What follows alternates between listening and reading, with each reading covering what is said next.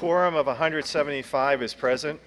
With your permission, we will waive the reading of the constable's return of the warrant. Welcome to Dover's 2014 annual town meeting. While you're getting to your seats, a few preliminaries. The fire chief reminds us that there is no smoking in the building and no sitting in the aisles or on the stairs. Please turn off your cell phones and other devices so that we can all fully concentrate on the business at hand. Three years ago, we had a problem with our PA system because of interaction with cell phones. Please place your cell phone in airplane mode or turn it off.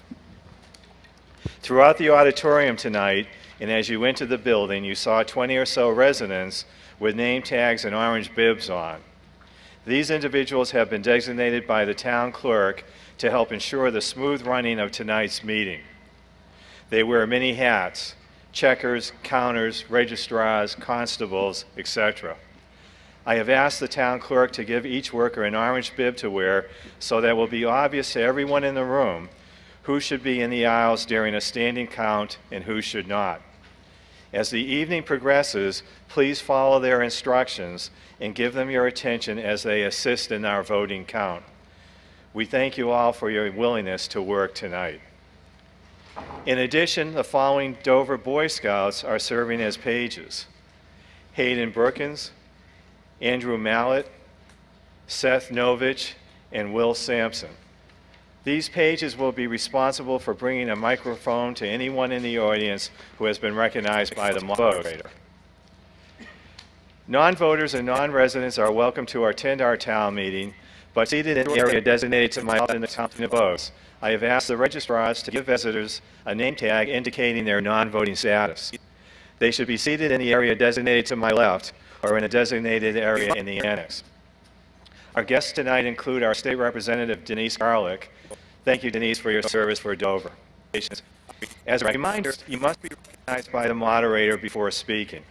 Please raise your hand and I will try, try to scan the audience so that various locations are equally recognized. We are being televised live. If you are recognized to speak, please either proceed to a microphone directly into it. The power switch will already be on. Now some introductions. I'm Jeremy Dadra, moderator for the town of mic close to your mouth and speak directly into it. The power switch will already be on. Now for some introductions.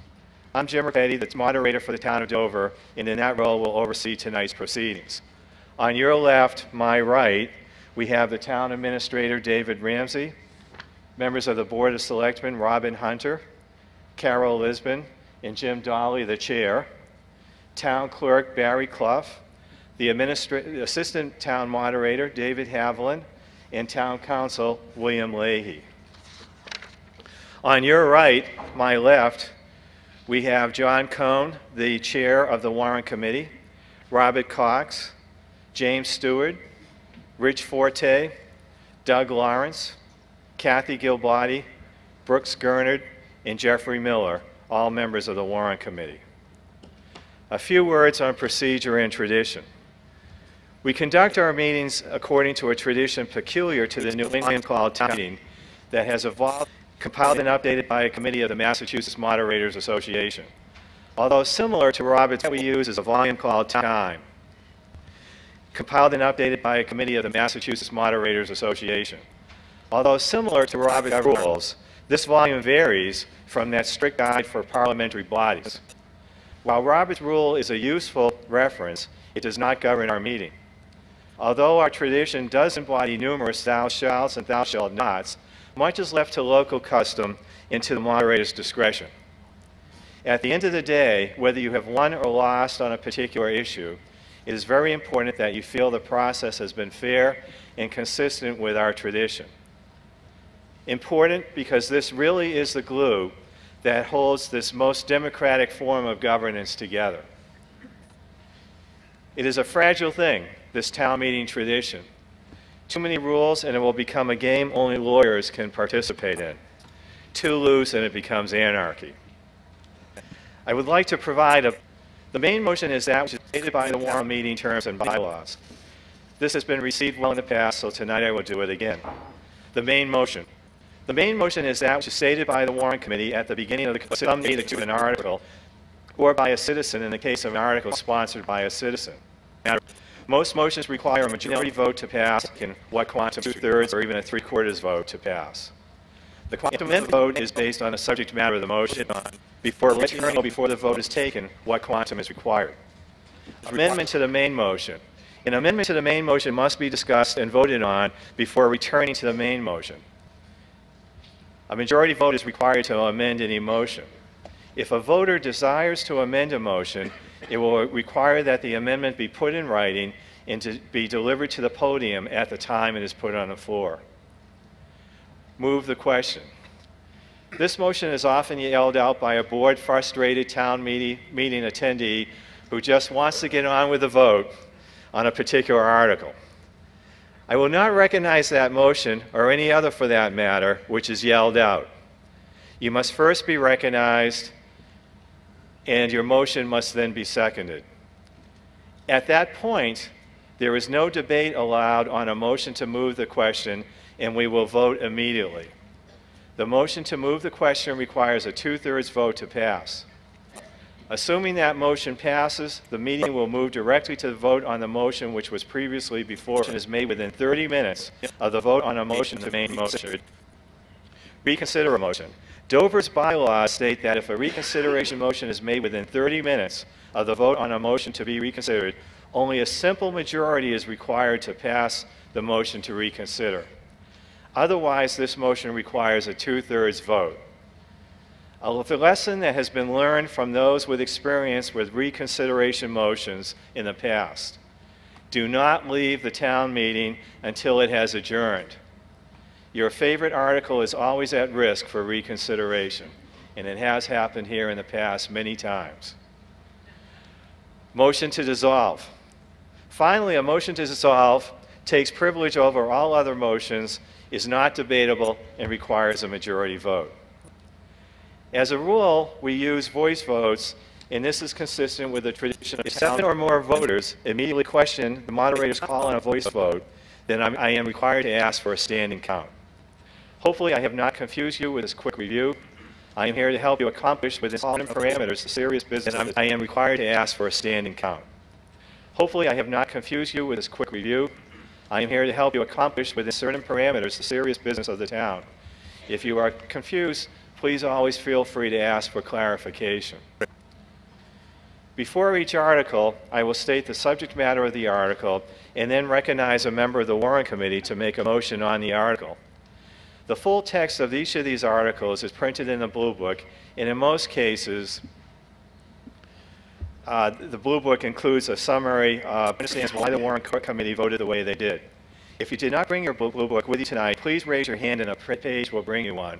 Does everybody have a copy of the Blue Book? Okay, very good. A word about brevity. Tonight, I will require that presenters of articles limit their presentations to no more than 10 minutes. During the discussion of these articles, I will try to maintain a balance between moving the agenda along and ensuring that all who have something to contribute have the opportunity. With articles, I will try to maintain a balance between moving the agenda and remind speakers that the longer that all who have something to contribute have the opportunity. We have a fair amount to cover tonight.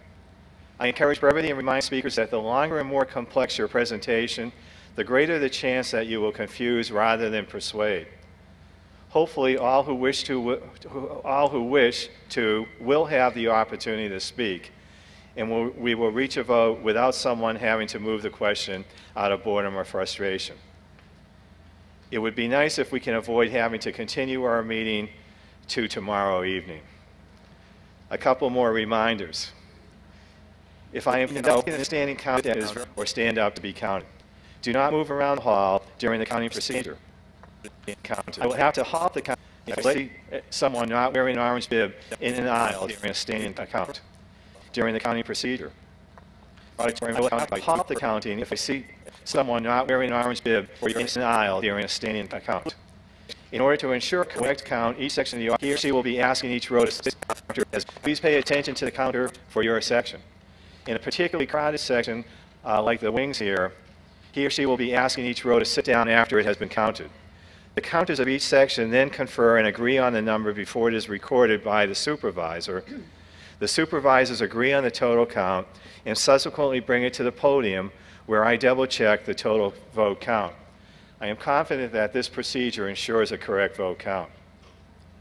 Finally, I ask that all attendees tonight remember that emotions and personalities should be left at the door of the town meeting. I will not tolerate emotional outbursts or accusations directed towards individuals or groups. But it is imperative that we disagree without being disagreeable of democracy. Let's honor the memory of all those who sacrificed to give us this great gift of democracy by conducting ourselves in a professional manner. Are there any questions about procedure? All those who sacrificed to give us this great gift of democracy by conducting ourselves in a professional thanks to the scores of elected and appointed volunteers who comprise our town government, as well as the able employees who ensure the smooth running of the town. In particular, I would like to thank the scores of elected and appointed volunteers who comprise our town government, as well as the able employees who ensure the smooth running of the town. In particular, I would like to thank Barry Clough, our town clerk, who is stepping down for many years as our very capable clerk. Thank you, Barry, and all the others who ably serve our town.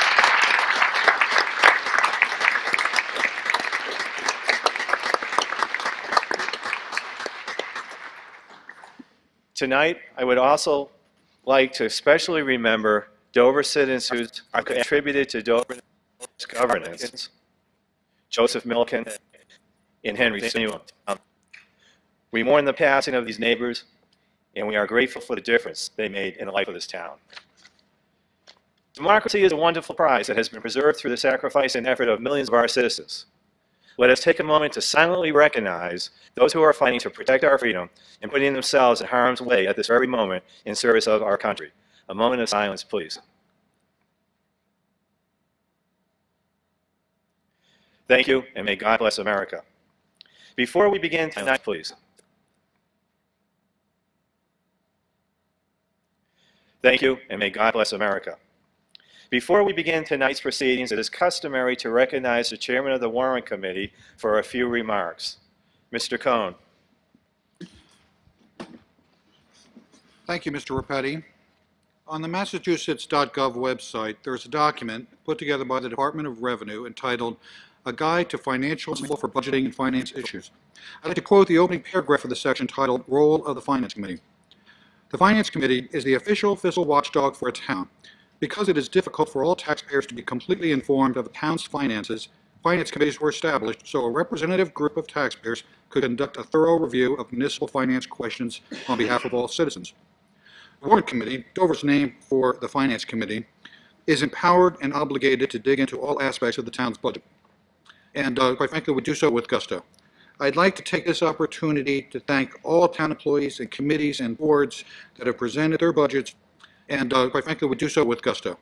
I'd like to take this opportunity to thank all town employees and committees and boards that have presented their budgets to us and have consistently responded to our questions and our requests for additional information with professionalism and patience and good cheer. Thank you to all those people who have uh, come before the Warrant Committee. Here's another sentence from the role of the Finance Committee. The primary duties of a Finance Committee is to finance. Uh, and here we are tonight. The Warrant Committee's recommendations are just that, recommendations for your consideration. But before we begin considering and voting on the articles, I'd like to say a few words about the process and the people on the Warrant Committee. I believe an effective town finance committee will be comprised of a group that is representative of the town at large, is open-minded and fair-minded to all those who present, can dig into the details while keeping the big picture in mind, and can be respectful of one another's opinions, especially in those cases where thoughtful people reach different conclusions. I believe the Town of Dover's Warrant Committee is representative of the town at large, has been open-minded, especially in those cases where thoughtful people reach different conclusions.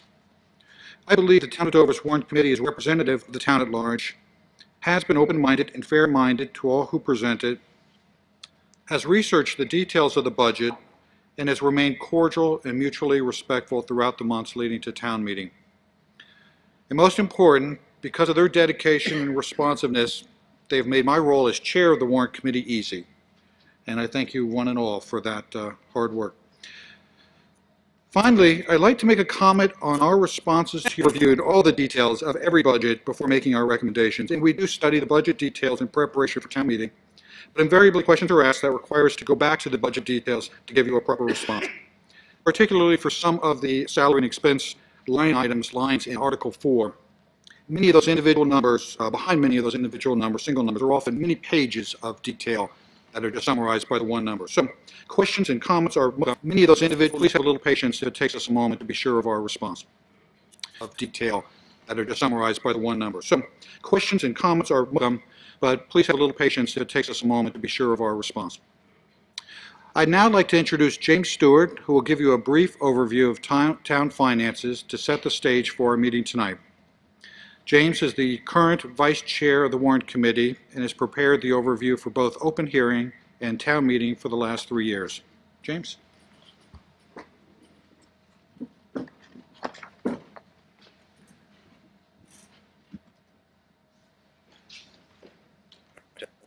make it a little more clear. I'm going to, I'm going to uh, take you through the summary of the budget, and uh, I have a pointer here to try to make it a little more clear. Um, It should take just a couple minutes, there's about 18 slides or so. Um, For fiscal year 2015, we're proposing uh, a budget here of uh, $34,733,000 uh, versus last year's of $33,440,000. The increase is one po- about $1.3 million, or about 3.9%. The uh, total revenues that are being projected, um, which also um, exclude the use of free cash, uh, are uh, 33,216. The uh, total revenues that are being projected, um, which also um, exclude the use of free cash, uh, are uh, $33,216,000 versus last year's 32 million. The increase is about $1,008,000 or 3.1%. Um, The total use of free cash that we're uh, proposing here is about $1.5 million. Um, um, Big picture, the uh, Article 4 is where most of the operating items are. Um, The big, about 5%. Um, Big picture, the uh, Article 4 is where most of the operating items are. Um, The big increases are um, primarily about $400,000 for the regional schools operating assessment. It's up about 4%. The uh, Dover School operating budget, which also includes out-of-district spending for special education, is about $408,000 up, or about 4.5%. There's a decrease, um, and a big one, in this year's budget. It, uh, for group health insurance, which is in the insurance and pensions item, is actually down by $144,000 or 7.2% this year. It's a rare thing, and in my experience, that hasn't happened. Um, but it's happening this year, this next year. Um, capital items for fiscal year 15, which also include special articles here, um, is about $420,000 um, building proposal, um, 2%, and that's driven largely by the um, uh, the uh, the protection building proposal um, article item to uh, uh, uh, that. These items here explain about $1.1 million of the overall increase of about 1.3, and um, that's the bulk of, of of the change. Next. This slide shows a summary of the um, budget components. And so you see Article 4, as usual, is, is the large, um, almost 90% of the items um, in the total budget. Debt service is about 4.5%. That's down from previous years. Um, It was 4.9, I believe, last year. Um, Special articles, um, capital items, uh, The reserve fund is, is uh, what we uh, reserve, uh, it's about $250,000, what we reserve for unexpected items uh, during the year that, that might additional to, to, addition to overlay from the assessors and other um, uh, assessments. Miscellaneous items include, spe- this uh, slide is an additional, shows the revenue sources and expenditures, and you have a copy of it in- in the blue book. Um, And uh, on the top is revenue sources, on the bottom is the expend. This uh, slide um, shows the revenues um, of these items uh, from year to year. Um, So you can see that the um, revenue items uh, total, uh, including changes um, of these items uh, from year to year. Um, So you can see that the um, revenue items uh, total, uh, including um, the use of free cash, and uh, right now, the expectation is about 1.5 million of free cash will be used. Um, And, uh, you know, this is all largely self-explanatory. Uh, Next. Uh, This slide uh, is a, is sort of a summary of Article 4 items that's also in the Blue Book. And it shows by heading um, what some of the big uh, trends are in terms, and uh, you can see the um, regional schools and teen, and then the requested amount for fiscal year 15 and the changes and the differences.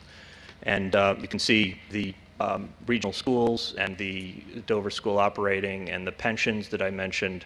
Um, That includes insurance, so um, insurance is up, so we don't see a big drop there.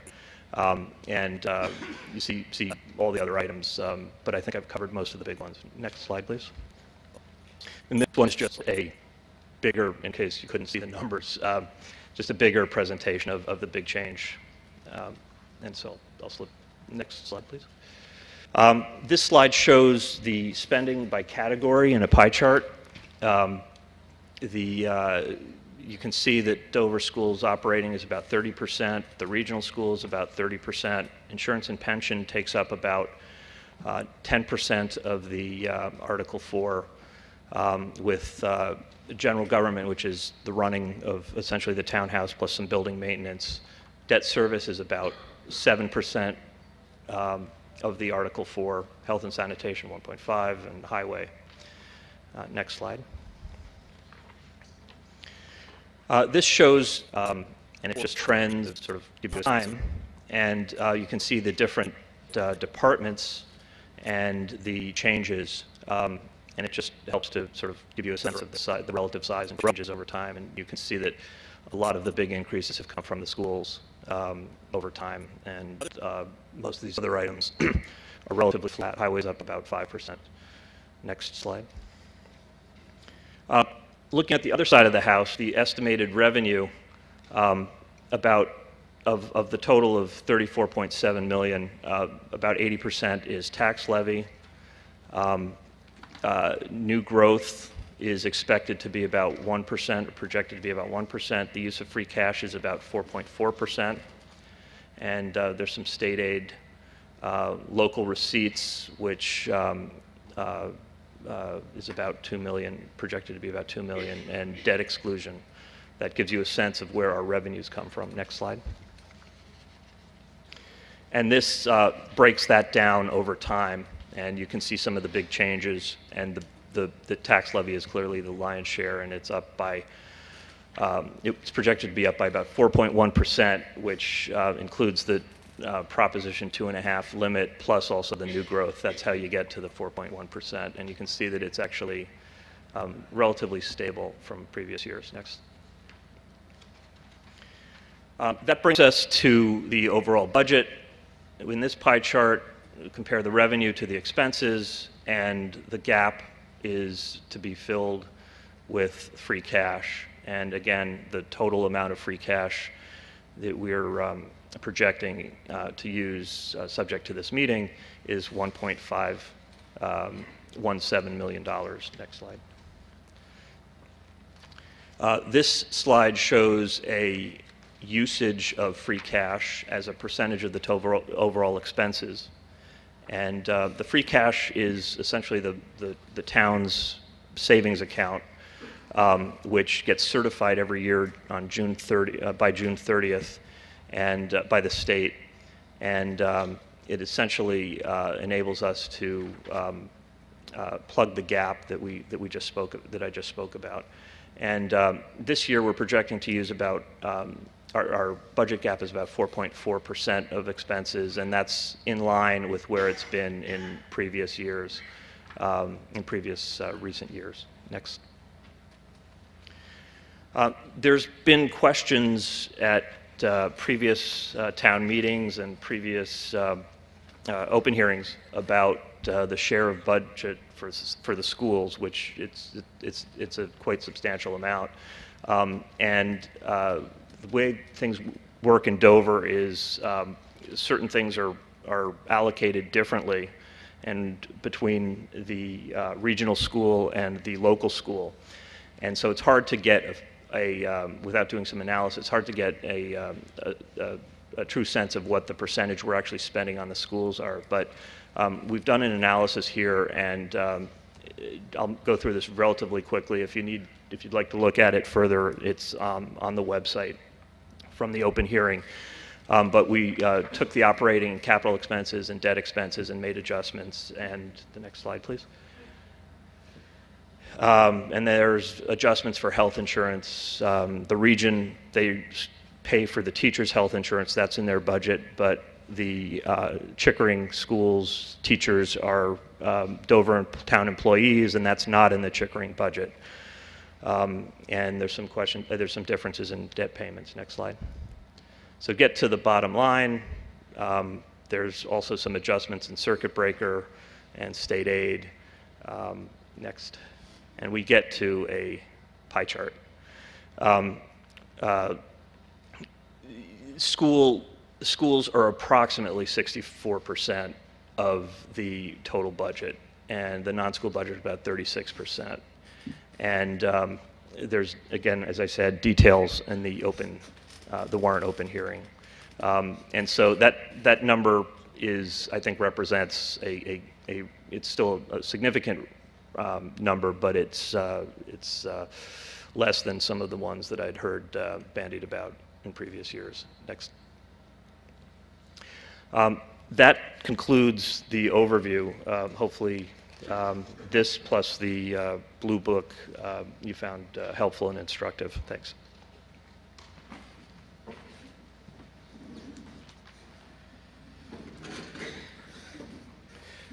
Thank you, James. At this time, it is also customary to recognize the Chairman of the Board of Selectmen, Mr. Dolly. Thank you, Mr. Moderator. I'll be brief, and I do not have any slides.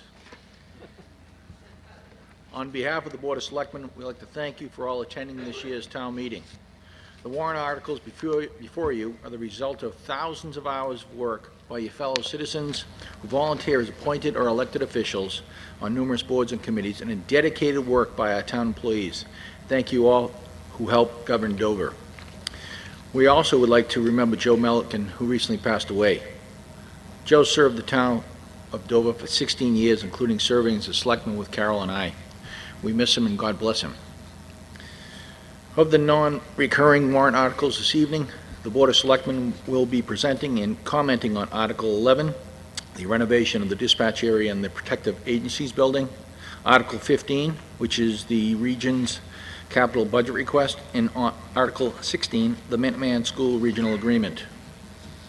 While not on this evening's agenda, I would likely, I would like to briefly discuss the recent notification about a possible 40B affordable housing project on Springdale Avenue. On April 4th, the Board of Selectmen received a notice pursuant to Massachusetts General Law, Chapter 61A, that the owner of 46 Springdale Ave had entered into a purchase and sales agreement to sell 27.2 acres to Northland Residential Corporation. The contemplated development of the property would be 40-plus townhouses, of which 25% would be deemed affordable. This right of refusal is a result of the homeowner applying for and receiving a Chapter 61A real estate tax exemption for certain farming use of the land on 24 acres of that parcel. Under state statute, the town of Dover has the right of first refusal to purchase this parcel, which must, which must be exercised within 120 days of the notice, excuse me, which is August 2nd, 2014. We had over 50 citizens attend our selectmen meeting on April 17th, when Northland explained the project and concerned citizens asked questions. The town website has been updated to include the facts as we know them now, and a list of questions and answers if available. You can also sign up for email notifications of changes to the web page so you can more easily keep informed of new information. We will continue to work diligently serving the town during the process of deciding on the town's first right of refusal. And please be assured that nothing will be official until a town meeting is held. Also, within the first 30 days, the state statute allows the town to review the purchase and sale to ascertain whether or not the notice given to the town is in compliance. After a careful review, the Board of Selectmen on April 30th decided to accept the notice as is while outlining the statutory deficiencies and continue the due diligence. I would like to remind everyone of the upcoming town elections on May, Monday, May 19th, as noted in the Blue Book Article 23. The article lists the open elected office positions. Lastly, I urge our townspeople to either continue to participate, or if you haven't participated, step forward, volunteer your time, or get involved in one of the many issues currently at hand by sharing your opinion. Thank you. Thank you, Jim. Before we move to the articles on the warrant, it is customary to again recognize the chairman of the warrant committee for a motion governing the conduct of the meeting. Mr. Cohn? Mr. Moderator, I move that the following rule be adopted for the conduct of this meeting. Any amendment to a main, to a main motion that would increase an appropriation must contain a provision for the source of funds for the increase such that the total amount to be raised and appropriated at the meeting will not be increased.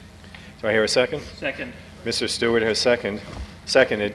This is a motion that requires that uh, if somebody wants to make an amendment that would increase spending, they have to identify a source that would fund that additional spending.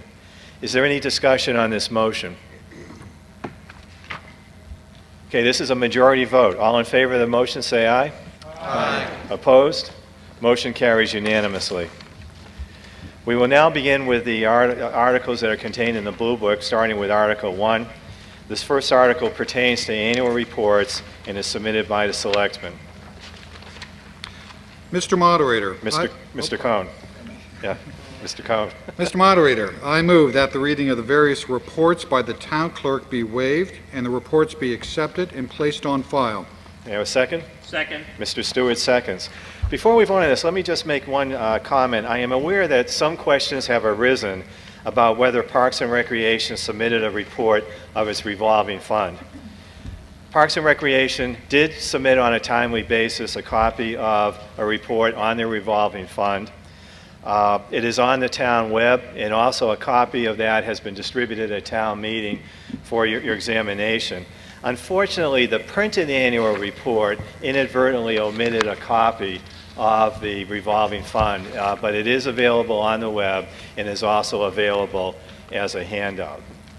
Is there any discussion on this motion to accept the town reports? Okay, this is a majority vote. All in favor? Aye. Opposed? Motion carries unanimously. Article 2 relates to real estate tax exemptions for veterans, disabled veterans, blind persons, and persons over 70 years of age, and certain other individuals. It is submitted by the Board of Assessors. Mr. Cohn.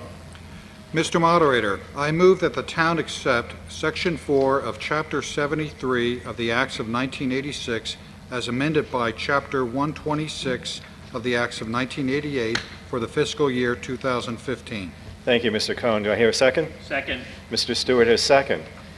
Any discussion? Okay. This is a majority vote. All in favor of the motion, please say aye. Aye. Opposed? Motion carries unanimously. Okay, town salaries for our elected officials, Article 3. Mr. Cohn? Mr. Moderator, I move that the salaries recommended for elected officials of the town, as shown in the right-hand column of the warrant committee report, be called over by the moderator, and if, and that if no objection is raised to any of them, they be approved as read. Second? Second. Mr. Stewart has seconded. The motion uh, has been moved and seconded that I read the salaries on page 30 of the Blue Book for Article 3. If this motion passes, I will read the salaries and put on hold those items that are objected to, which we will then consider individually. All items that have not been objected to, as I'm reading them, will be deemed to have been approved. Are there any questions on this motion? Again, the motion directs me to read the salaries. Any salaries not objected to are deemed to have been approved. This is a majority vote. All in favor, please say aye. Aye. Opposed? Okay, motion carries unanimously. I will now read the salaries on page 30 of the Blue Book. You can follow along if you like. One, Board of a Selectmen. Chairman, $200. Clerk, 150. Other member, 100. Assessors, Chairman, 400. Other members each, 350. Number three, town clerk, $49,376. Number four, planning board, chairman, $100. Other members each, $50. Number five, constables for three, $150 each. Number six, Board of Health, chairman, $150. Other members, $100. Are there any holds? Not hearing holds, these salaries are deemed to be approved pursuant to the motion that we adopted. Okay, Article 4. Article 4 relates to the salaries for town employees and also the expenditures of the town departments. Mr. Stewart. Mr. Moderator, I move that the salaries and expenses recommended by the department's officers, boards, and committees of the town as shown in the FY 2015 requested column in the warrant committee report be called over by the moderator and, if no objection is made, that the town appropriate such sums and raise such amounts from the tax levy and from other general revenues of the town, except that $10,430.36 of the amount appropriated pursuant to line item 710 therein for maturing debt principal shall be transferred from the Title V receipt reserved for appropriation account. Do I hear a second? Second. Seconded by Mr. Cohn. The motion has been made and seconded. This is just like the last article. If you approve this motion, I will read the budget items beginning on page 31 of the Blue Book for Article 4. If you have a question, simply say hold as I read a particular line item, and we will go back at the end to discuss it. Items for which no hold is voiced will be deemed to have been approved. This is a majority vote. Any questions on this motion? Again, this is to direct me to read the items for Article 4, beginning on page 31. All in favor, please say aye. Aye. Opposed? Motion carries unanimously. Okay, if you turn to page 31 of the Blue Book, we'll start with uh, number 301, moderator, zero. As I said last year, you get what you pay for. 131, warrant committee, $7,680.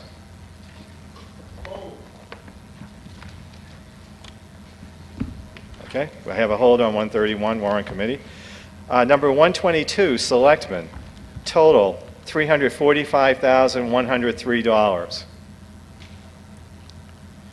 Number 192, town house house expenses, $60,134.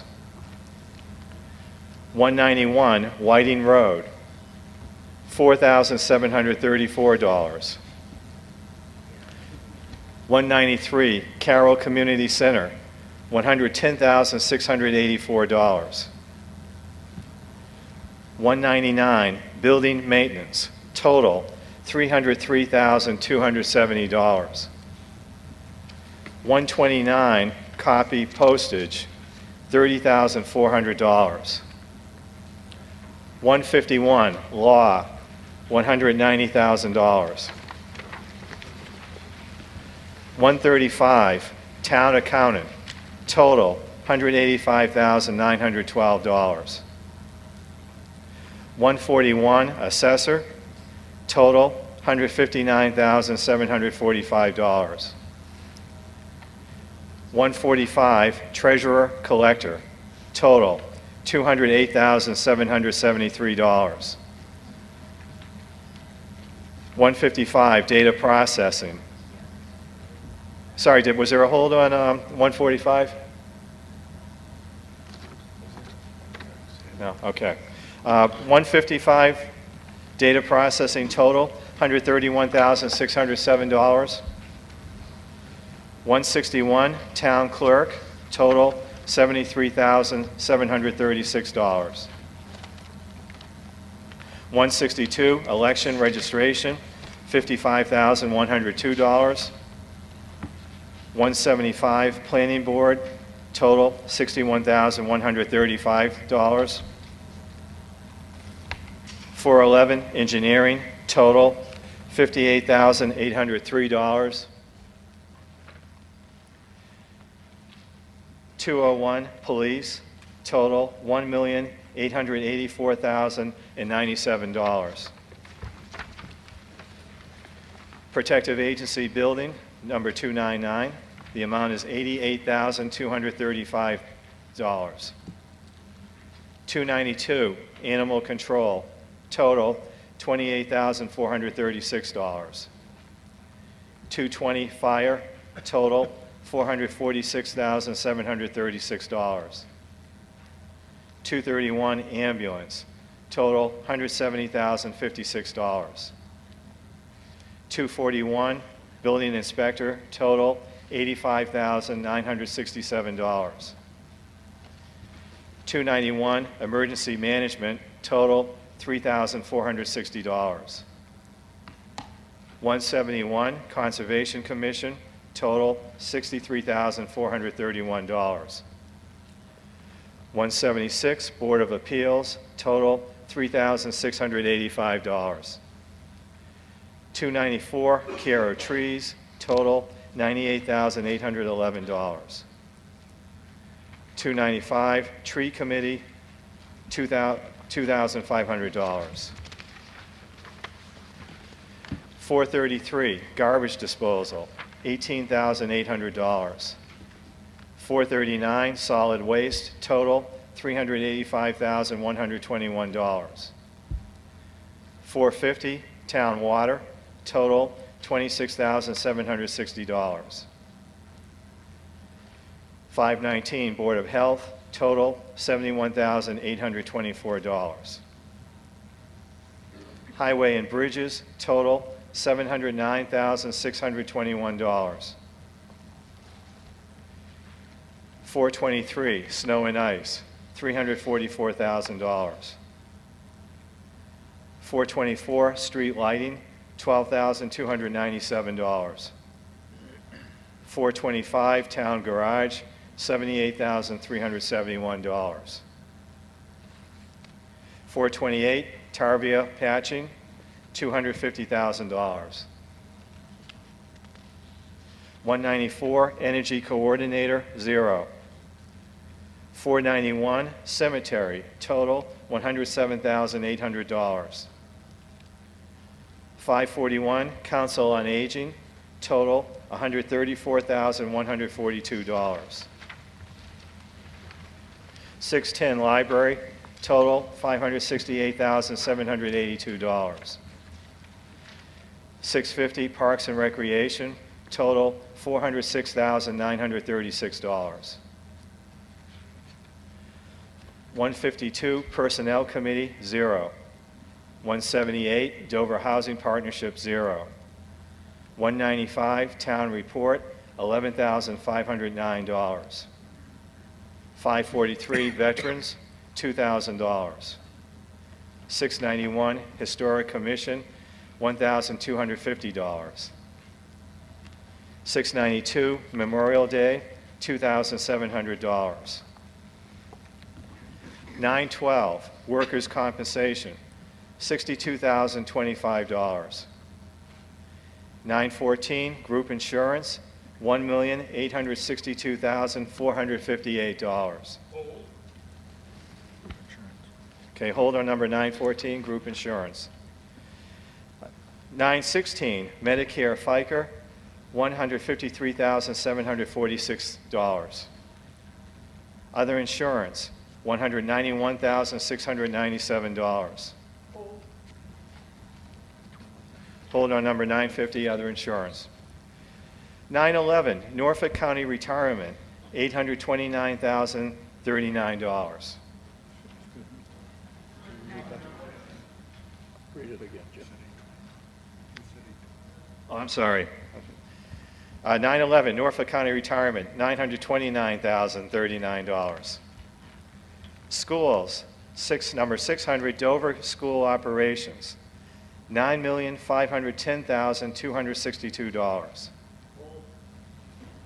Okay, hold on, number 600, Dover School Operating. Number 601, Dover's share of regional operating assessment, total $10,467,496. Number 602, Minuteman Vocational, $37,798. 604, Norfolk County Agricultural High School, $6,000. Number 710, maturing debt principal, $1,160,400. 751, maturing debt instrument, sorry, 751, maturing debt interest, $263,200. 759, bank charges, $4,000. Okay, I've heard a hold, just to go back to the beginning, on number 131, the warrant committee.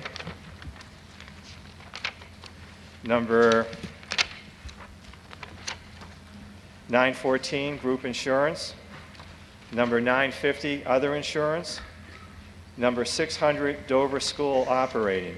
Were there any other holds?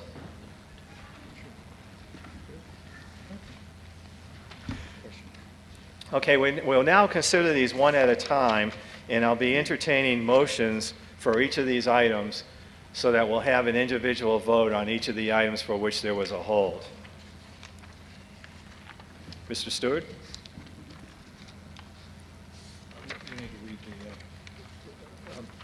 Mr. Moderator, I move that... Mr. Moderator, I move that $7,680 be raised and appropriated for the warrant committee, ite- line item number 131. Okay, thank you. Um, Do I have a second? Second? Okay, Mr. Stewart has moved and Mr. Cohn has seconded that we approve the uh, appropriation of $7,680 to the warrant committee, number 131, at page 31 of the Blue Book. Discussion? Uh, Would the gentleman who uh, asked for the hold, would you like to speak to this matter? Uh, Could you state your name, please, and your address? I'm sorry, the microphone doesn't seem to be on.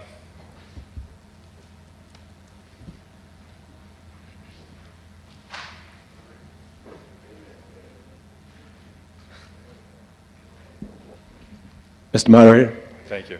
John Jeffries, Meeting House Hill. Just a quick question to the warrant commission, why the 48.26% increase? Thank you, sir.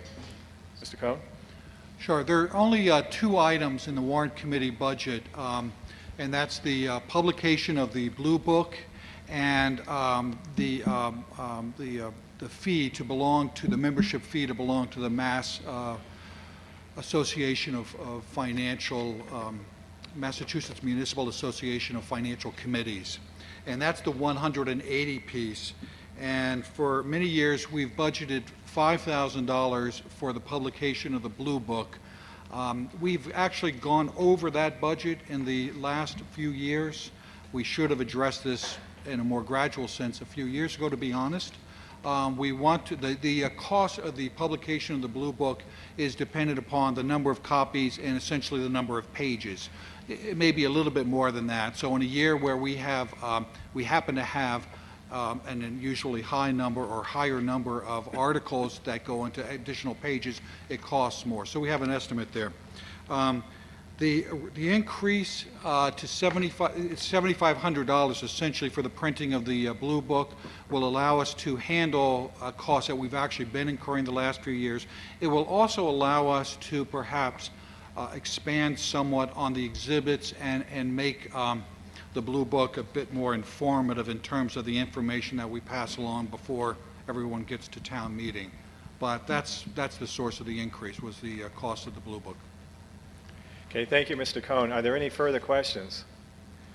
Okay, a motion has been made to approve the appropriation of $7,680 for the warrant committee. It's been seconded. This is a majority vote. All in favor, please say aye. Aye. Opposed? Motion carries unanimously. The next item for which there was a hold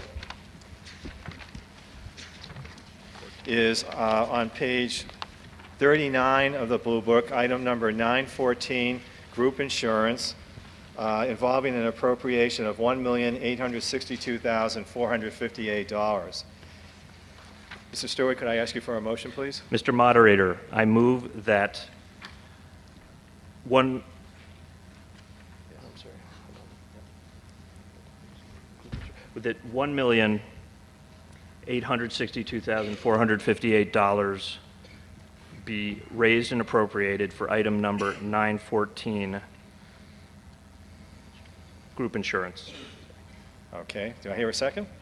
Second. Okay, uh, motion has been made and seconded. Uh, Any discussion? Over there, uh, Mr. Smith.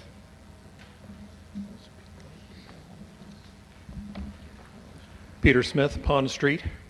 Um, At the open hearing on the warrant, a question came up about funding of the other post-employment benefits fund, and nobody had the numbers handy at that meeting.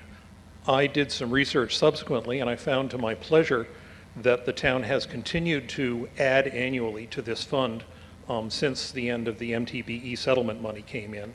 And I'd like to, first of all, commend the selectmen for keeping their eye on the ball and not letting this future liability drop. Um, I do have two questions. Is first, is there any money in the budget this year um, for that? And second of all, um, are we following a formula to guide our annual contributions?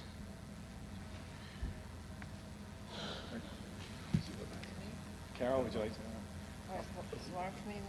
Anybody on the warrant committee want to address that? So, um, yes, the OPEB funding is based on a number that's provided to us from our actuarial service that looks at this. And um, I think next year, every three years, you have to do a, a a totally new actuarial look. So we expect to have that number uh, maybe change a little bit for fiscal year 16. But right now, it's based upon our, the information given to us by our consultant. And the, um, and the budget number in total is going down because we've taken a look at our health insurance uh, premiums in, in real time uh, from um, West Suburban Health Group, which is a consortium of towns around uh, uh, Metro West. And uh, given the history of the premiums and the subsidies that uh, West Suburban is providing, we thought that we could decrease the health insurance number. So those are basically the two numbers that make up the group insurance. Thank you very much. Okay, thank you, Mr. Smith. Is there any further discussion? Okay, this is a majority vote. All in favor of the appropriation for group insurance, please say aye. Aye. All opposed? Motion carries unanimously. The next item uh, is number 950, also on page 39, other insurance involving an appropriation of $191,697. Um, Could I ask the person who asked for the hold to uh, Mr. Fleming, right. Oh, I'm sorry. First, Mr. Fleming, let me make the motion. Could I have a motion with respect to number 950, other insurance, in the amount of $191,697? Mr. Moderator, I move that $191,697 be raised and appropriated for item number 950, other insurance. Okay, thank you. Do I hear a second? Second. Okay, motion has been made and seconded, and now, uh, Mr. Fleming? Jim Fleming, Fox Run Road. Uh, I'd like to hear what's included in other insurance. And does this include, where is uh, unemployment compensation included? And if it's included in there, can we be told where the unemployment is being generated from?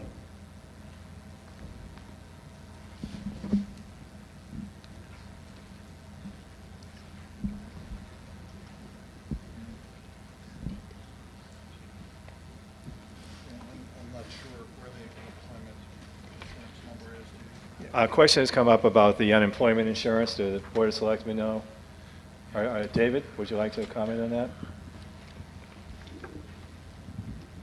Thank you, Mr. Moderator. Unemployment insurance is not under other insurance. It's separately funded under another warrant article. This year, we are currently requesting no funds for that. What's included in the other insurance? Property casualty, police and fire accident, and EMT accident insurance.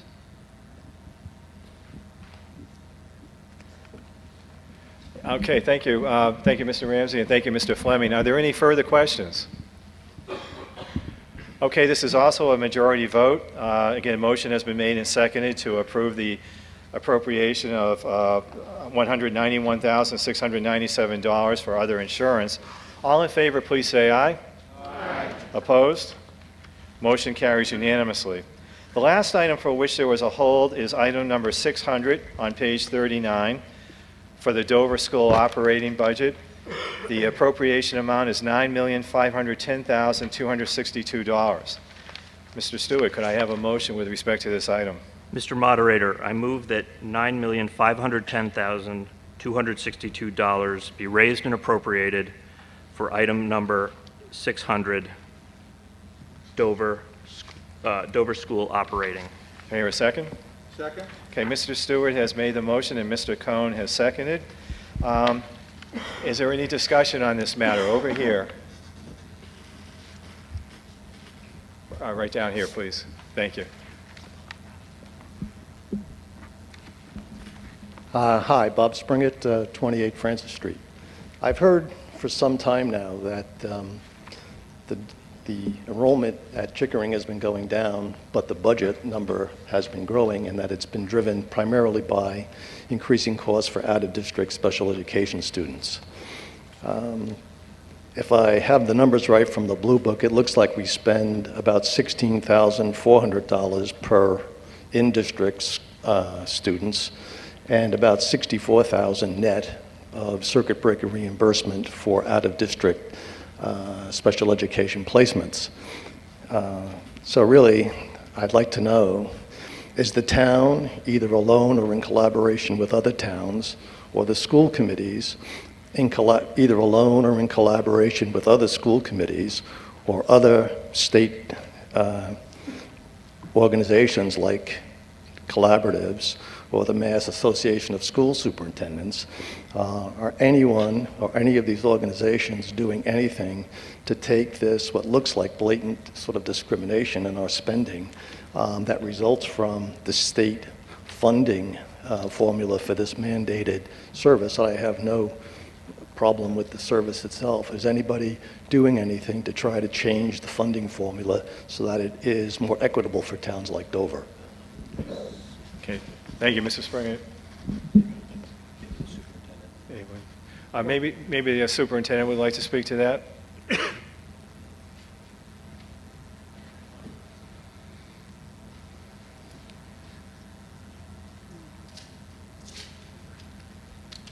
Thank Good evening. Thank you, Mr. Moderator. Steve Bliss, Superintendent of Schools.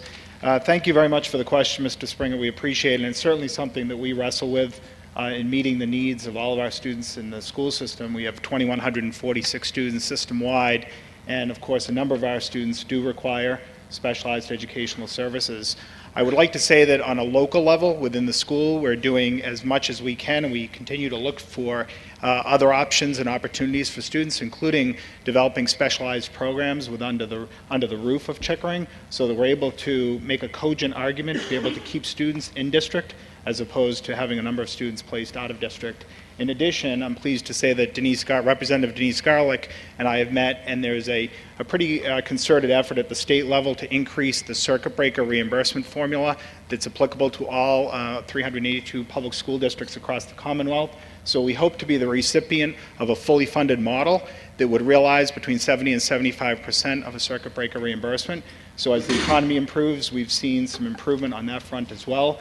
And in case in point, in the town of Dover for fiscal year 15, we anticipate circuit breaker reimbursement in the neighborhood of about $700,000. So when you look at out of, out of district costs, you want to make sure you're also backing that out as well. But please be mindful of the fact that we're doing our level best in the schools to make sure that we're providing a free and appropriate public education in what's called the least restrictive environment for all of our students.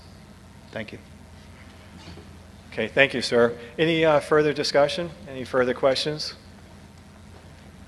Okay, a motion has been made and seconded to approve the appropriation of $9,510,262 for item number 600, Dover School Operating. This is also a majority vote. All in favor, please say aye. Aye. All opposed? Motion also carries unanimously. Okay, Article 5, the capital budget. Mr. Cox. Mr. Moderator, I move that the following sums recommended for the various capital purposes be called over by the moderator and, if no objection is made, that the town raise and appropriate such sums unless another funding source is noted, and that any sums realized from the trade-in or auction of old equipment shall be used to reduce the cost of the acquisition of new equipment or to purchase related accessories. Okay, thank you, Mr. Cox. Do I hear a second? Second. Okay, uh, motion has been made by Mr. Cox and seconded by Mr. Stewart. Like the prior motions, this one directs me to read over the capital budget items to see if anyone objects to a specific item. Unlike the prior two motions, I will not be reading from the Blue Book. Rather, I will be reading from the motion itself. The Blue Book at pages 41 to 49, however, follows the same order as the motion. I will read slowly so that you can follow along in the Blue Book. Number one, cemetery, hearse carriage house renovation, zero. Number two, highway department, A, one-ton truck with plow, H16, $56,640. Oh, I'm sorry. Thank you. Um, talking about a deer in the headlights. I forgot that the motion's been made and seconded for me to read, but I forgot to ask you to vote on it. Is there any, is there any discussion of, of the motion, which will enable me to start reading again? Okay. All in favor, please say aye. Aye. Opposed? Nay? None? Motion carries unanimously. Thank you. Okay, again, I will be reading um, items there summarized in the Blue Book beginning at page 41 through page 49. And let me start again. Uh, number one, cemetery, hearse carriage house renovation, zero. Number two, highway department, A, one-ton truck with plow, H16, $56,640. B, slide-in sander, H3, $15,550. Number three, library, A, technology hardware, $7,000. Number four, Park and Recreation Commission, A, large tractor mower, $36,000. Hold on number 4A, large tractor mower. 4B, girls softball field, zero. Number five, police department, A, patrol vehicle, $36,500. B, live scan fingerprint machine, $19,285. Hold on 5B, live scan fingerprint machine. Number six, school committee. A, concrete repairs to front and rear slabs, $13,000. B, light emitting diode, LED, site lighting upgrade, $15,641.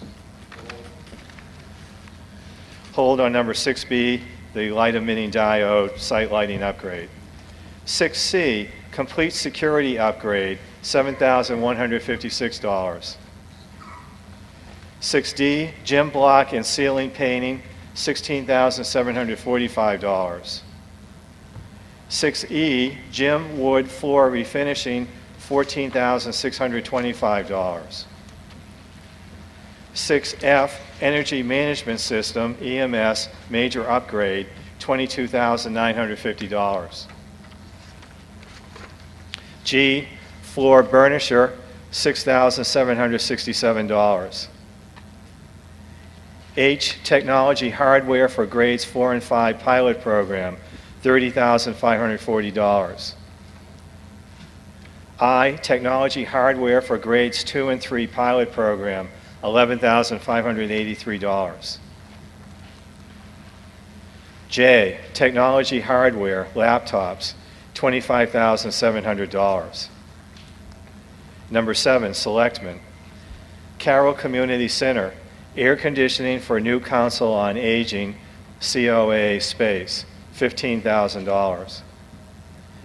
B, Caryl Community Center, rehabilitation of two public restrooms, zero.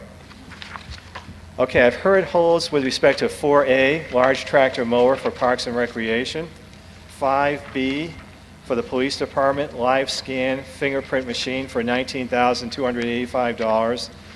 And for 6B, school committee light emitting diode LED site lighting upgrade. Are there, were there any other holds?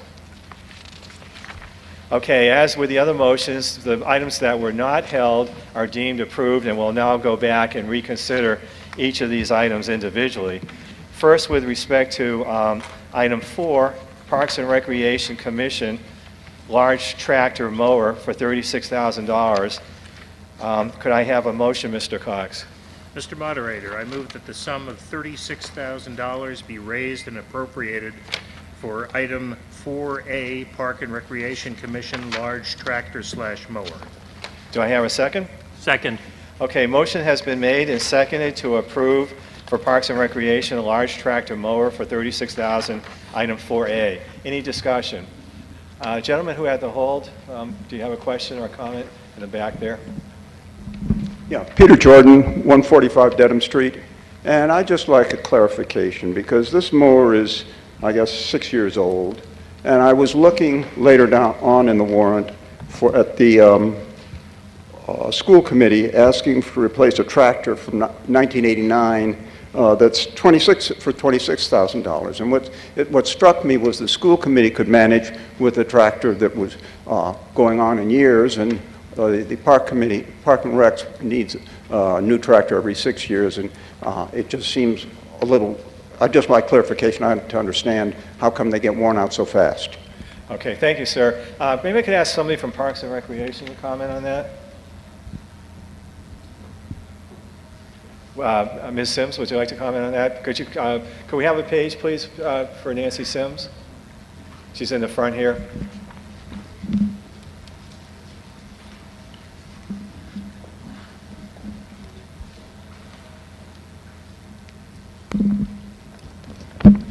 Uh, Hi, I'm Nancy Sims. I'm one of the Park and Rec Commissioners, Six Sanger Circle in Dover.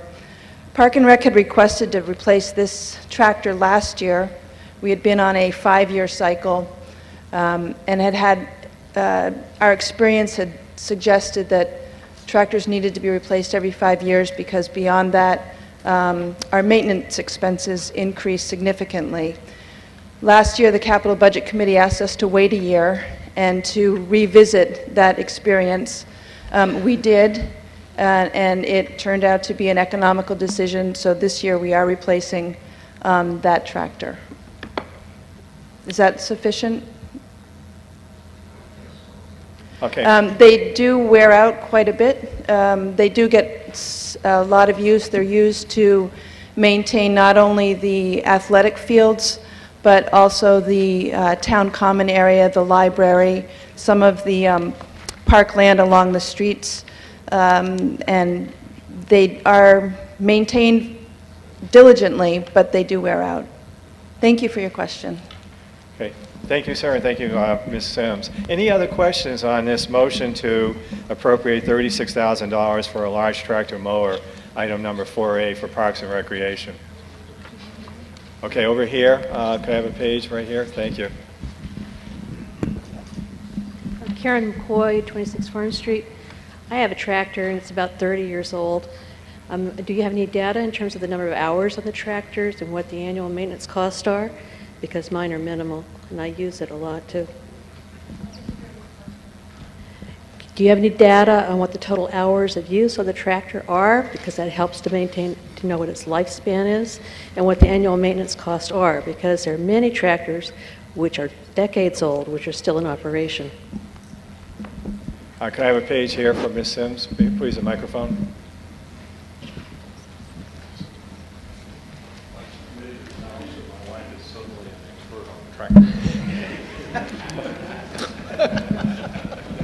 Karen, thank you for that question. I don't have with me the uh, maintenance expense that we've incurred on that tractor for this past year, nor for its um, six-year life. I know that information exists, and I can get it for you.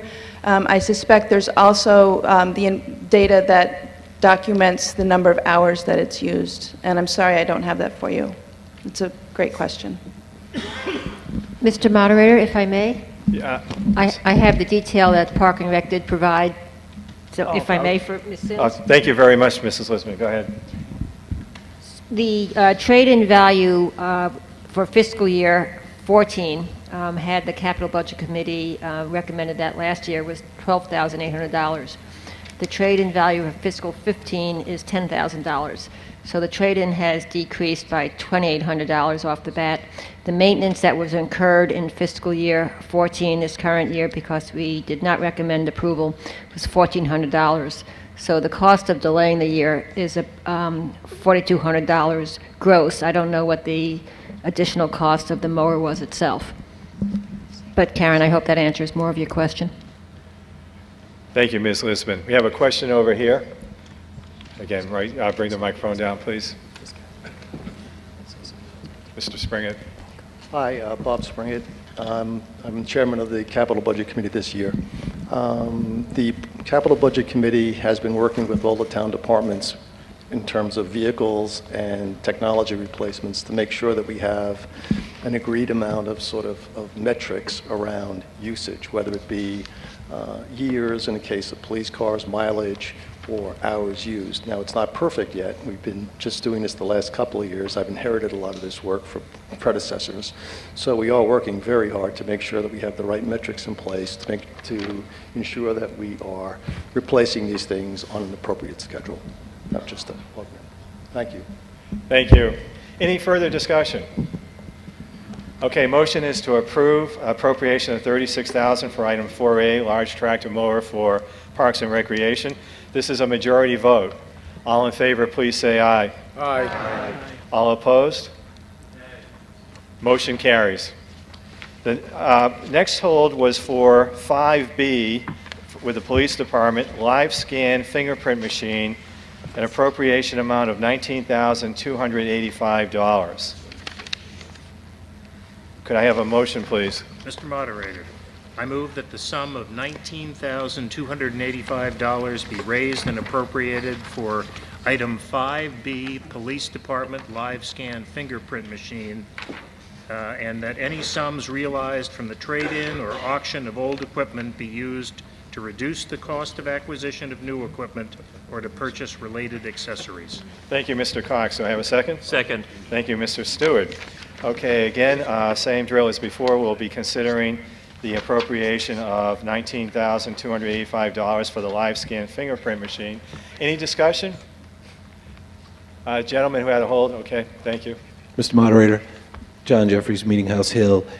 Uh, $19,000 for a live scan fingerprint machine that assumingly would replace the ink and the paper process, et cetera.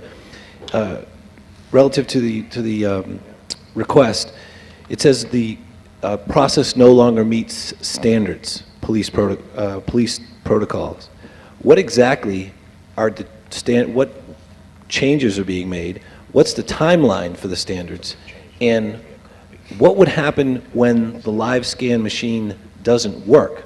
I- I'm assuming you'd go back to the paper and ink process. For the past 28 years, I- I've been a managing director at a securities firm and have had the privilege of being fin- fingerprinted many, many times in a process that works extremely well.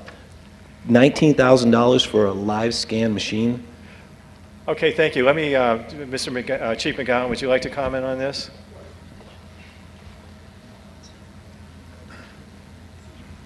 Peter McGowan, Police Chief, Town of Dover.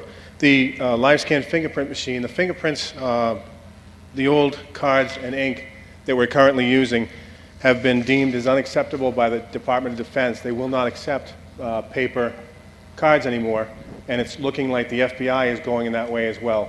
The live scan machine will allow us immediate um, acceptance of the print, let us know if it's good or not. Right now, if we take a, a card, print now, send it in, and it's not up to standards or not readable by whomever we're sending it to standards, it gets sent back. A lot of times with an arrest, we don't have the ability to take the prints over. If we're doing a, a town employee, we have several town employees that come in for their jobs.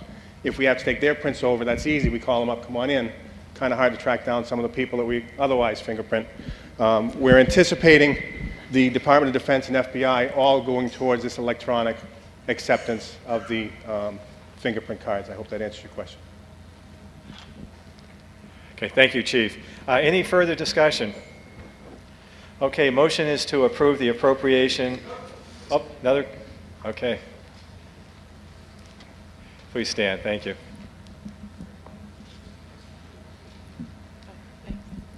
Christine Montesano, 8 Church Street. I'm curious to know how many people you uh, fingerprint per year, and if it's possible to use in other towns. Chief, do you want to respond to that? Thank you. Mr. Moderator? Yes, sir. We average approximately 80 custodies a year. In addition to that, we have um, protective custodies on top of that, and then we average somewhere in the area of five to eight residents a month come in needing fingerprints for securities and that type of jobs. So I would put us somewhere in the area of 125 to 150 per year. We cannot currently use other uh, live scan machines. Several towns around us have it, but it's programmed specifically for that town. Okay, thank you, Ms. Montesano, and thank you, Chief McGowan. Okay, any further discussion? Okay, uh, again, this is a majority vote on the approval of the um, appropriation of $19,285 for item 5B, the live scan fingerprint machine. All in favor, please say aye. Aye. All opposed? Motion carries unanimously. The last hold was for 6B, um, for the school committee, the light emitting diode LED site lighting upgrade in the amount of $15,641. Uh, Could I ask for a motion, please? Mr. Moderator, I move that the sum of $15,641 be raised and appropriated for item number 6B, School Committee Light Emitting Diode LED Site Lighting Upgrade, and that any sums realized from the trade-in or auction of old equipment be used to reduce the cost of the acquisition of new equipment or to purchase related accessories. Thank you, Mr. Cox. Can I have a second? Second. Thank you, Mr. Stewart. So we have a motion now, um, and it has been seconded with respect to item 6B, the LED upgrade, in the amount of $15,641. Discussion, please. Uh, Question, yes, Mr. Sims. Can I have a page here? Thank you. Uh, Why don't we wait, Jamie, because you need the uh, microphone for the um, television. Plus, I'm a little hard of hearing. Jamie Sims, uh, Six Sanger Circle. This is just a fundamental question about is this a gotta have or a nice to have? Because I've recently gone through an analysis at my own business with regard to large scale exterior LED lighting, and the conclusion was is that the mature, the maturity of the technology is still a ways off and the prices might come down precipitously. So I was curious as to whether or not this was a, uh, a really important project that needed to be done. It's not a big dollar amount, but still. Okay. um, uh, Perhaps, uh, Mr. Superintendent, would you like to address this?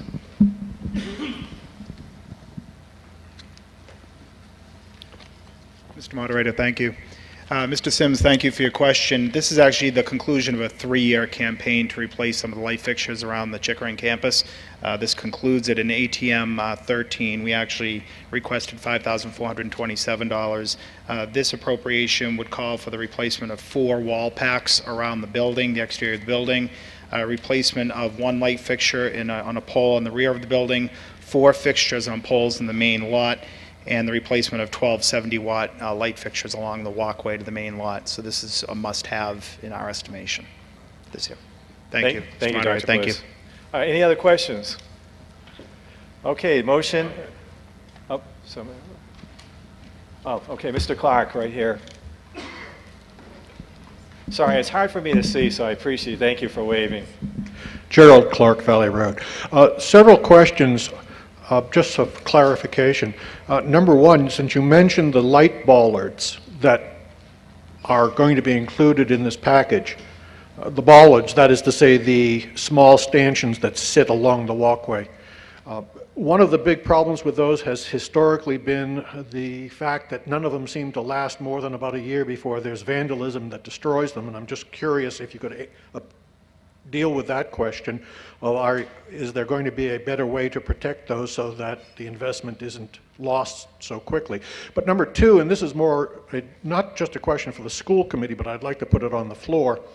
Uh, having just gone through the relamping of an entire very large nonprofit organization, uh, to the tune of about almost $110,000, and having it all paid by NSTAR, including the installation, through those fees that all of us pay in our monthly electrical bill. I'm just curious if the school committee has ever approached NSTAR on the energy saving program, and I put to the town and its administrators the thought that in the future, any lighting conversions or improvements that can be done, that there is a substantial opportunity to see to the use of the NSTAR energy saving program. And if you consider it, I would urge you to think about asking towards the end of the year because I discovered that historically NSTAR tends not to spend all that they have collected and then as they get to the end of the year are under the obligation to spend it quickly. Thank you, Mr. Clark. Um, would you like to address that, Dr. Bliss?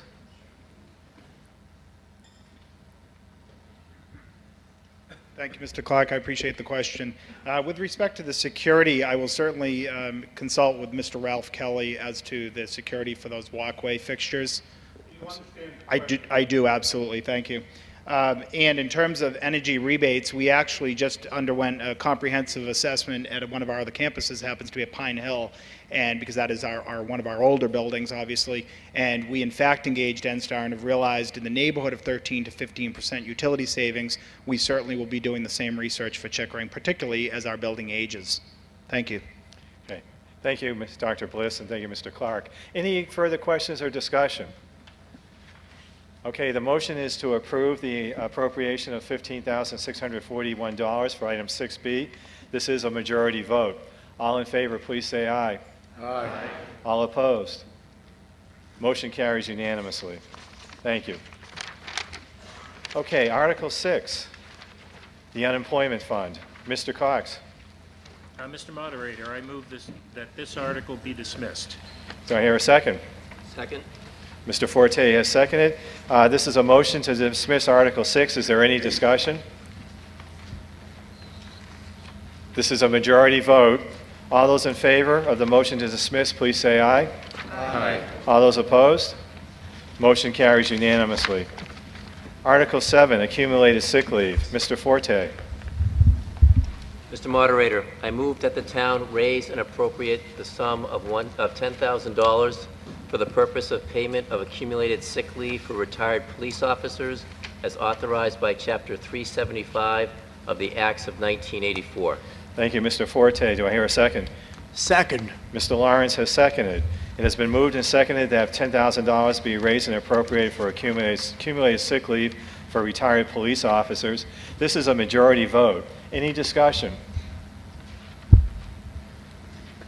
Okay, no, no discussion. All in favor, please say aye. Aye. Opposed? Motion carries unanimously. Thank you. Article 8, Highway Funds. Mr. Lawrence. Mr. Moderator, I move that the town authorize the Board of Selectmen to enter into contracts, apply for, accept, extend, and borrow in anticipation of any funds allotted by the Commonwealth for the construction, reconstruction, and other improvements of town roads and related infrastructure. Do I hear a second? Second. Okay, thank you, Mr. Forte and Mr. Lawrence. Motion has been made and second, seconded. Basically, this motion permits the Board of Selectmen to access funds from the state that may be available for road construction and repair. This is a majority vote. Any discussion? All those in favor, please say aye. Aye. All those opposed?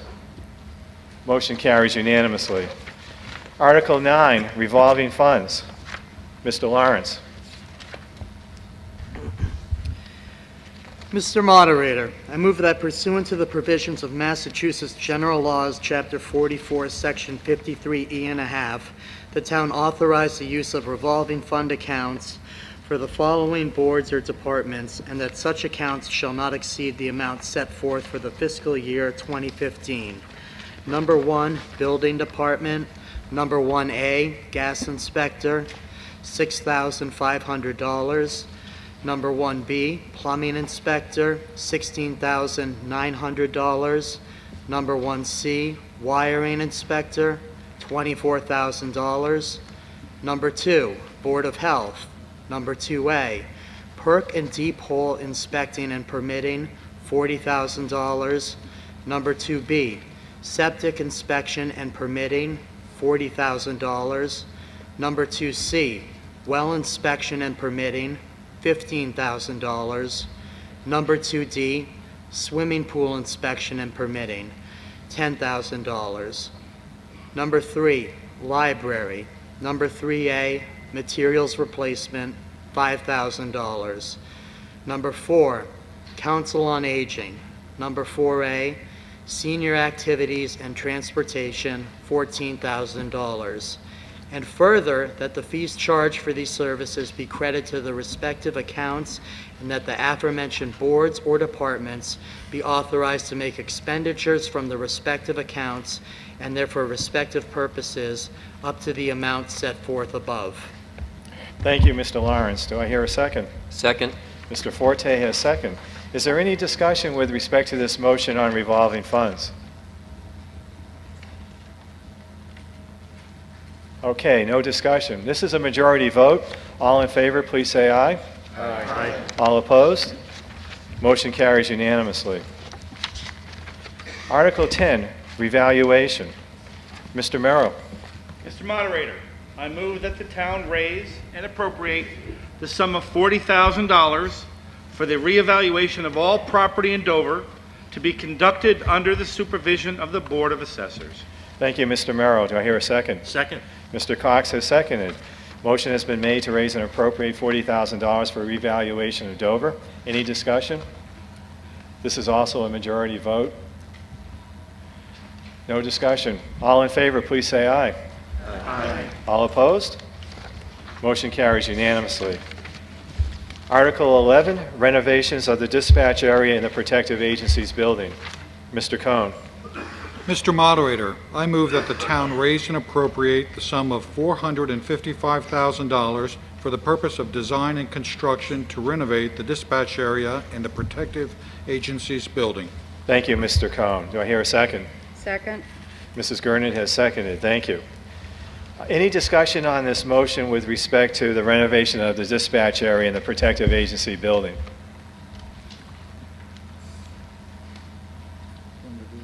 Uh, Robin, would you like to um, discuss this? Thank you. Okay, we'll, uh, we'll get to you, Mrs. Springer, in a second. Okay. Okay. Okay.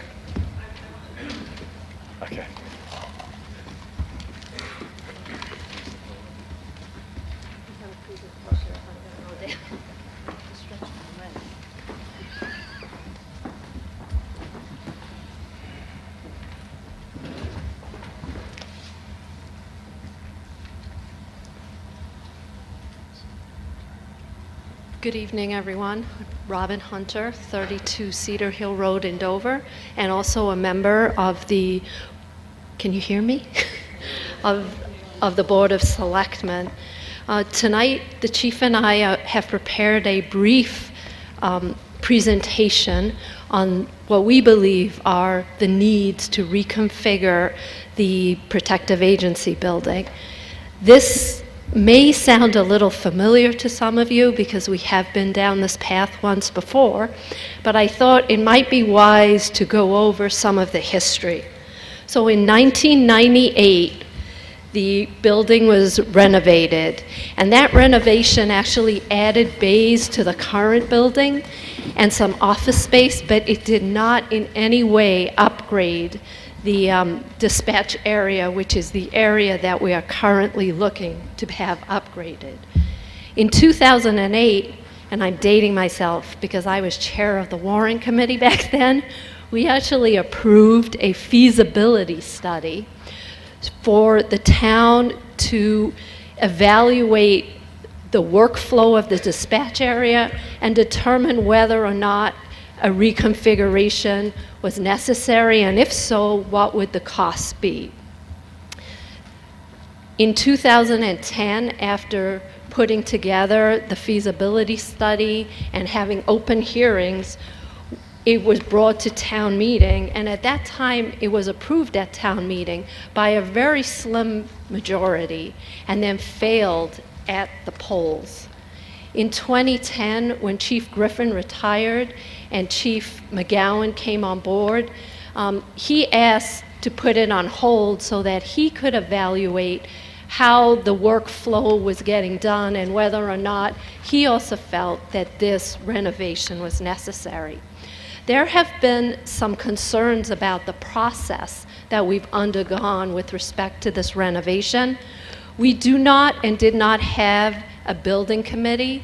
In the town of Dover, we typically haven't done this for renovations of existing space and items for which we're not requesting capital exclusions. However, this project has been vetted by many citizens in the town of Dover.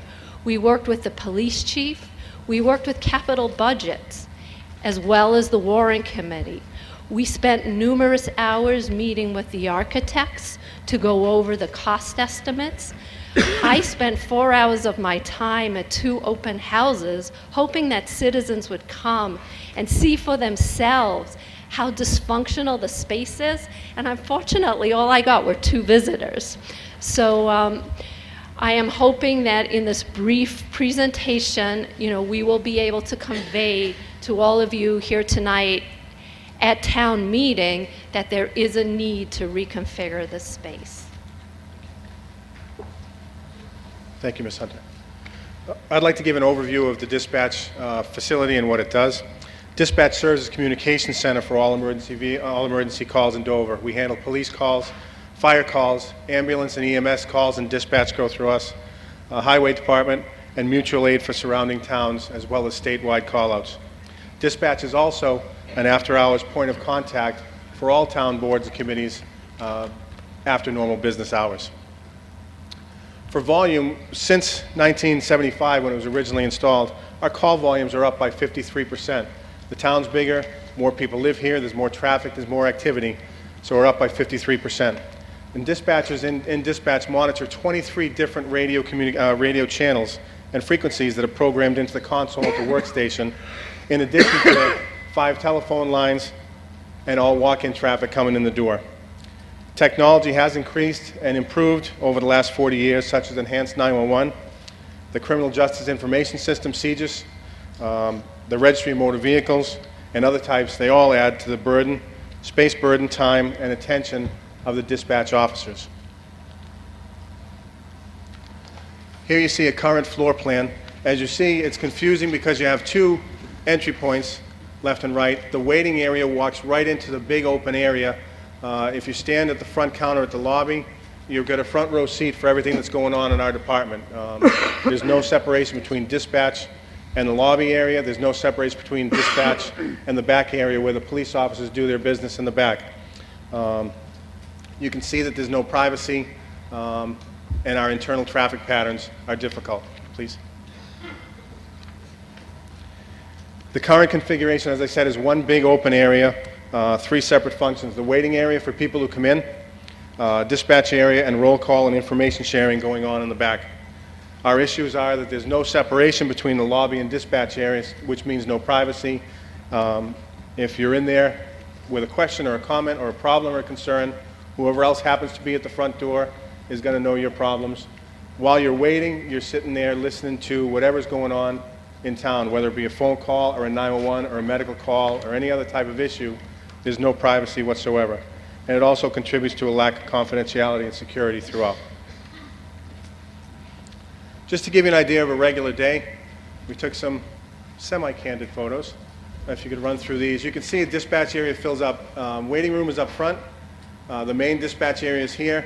And we have uh, workstations throughout for the officers. Roll call is in the back um, while whatever is going on in dispatch is going on.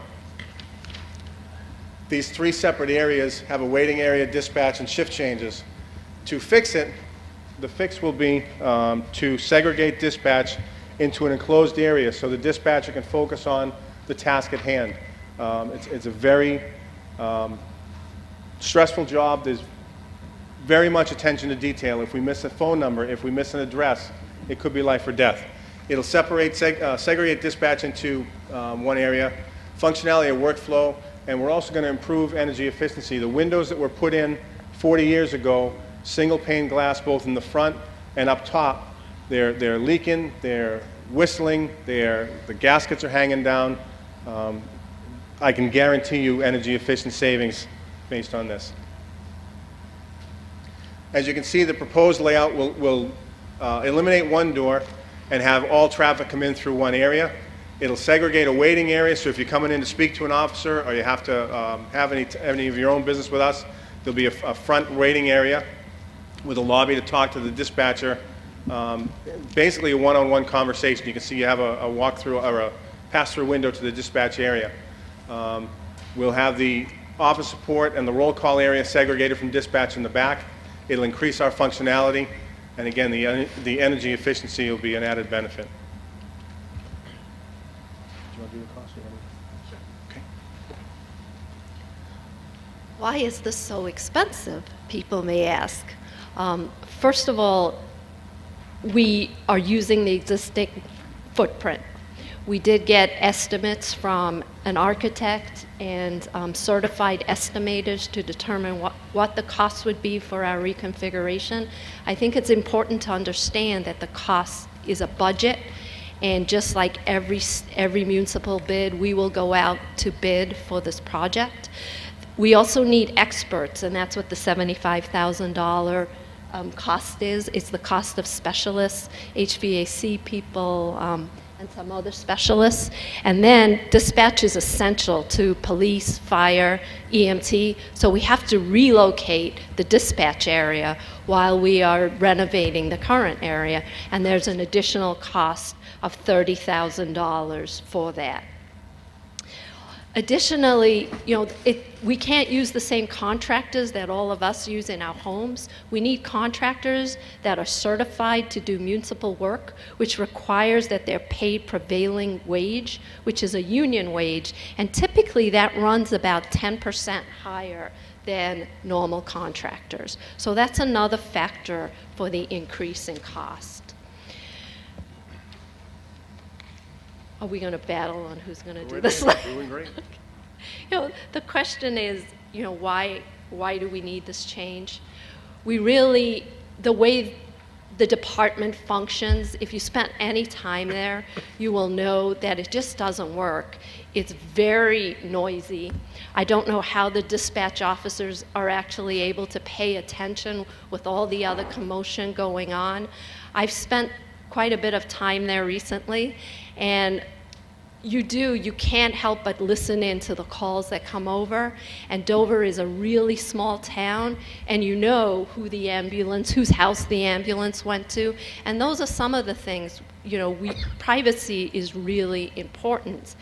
Also, since the area is going to be completely renovated, it made sense for us to also add some of these energy conservation items. So in the long run, we could save on efficiencies and operations. And you can, We also want to make sure that the modernization is done retaining the small town feel. So if you have to talk to a police officer, you come in and you talk to a police officer. It's not going to be uh, a intercom system. It's not going to be a, uh, some departments are going to a TV screen and you talk back and forth like that. Um, The next screen, please. The space was last updated in 1975, which is 40 years ago. Um, We as a town need to invest in our assets in order to maintain them. Investment and asset maintenance will retain value and ultimately save, as we said.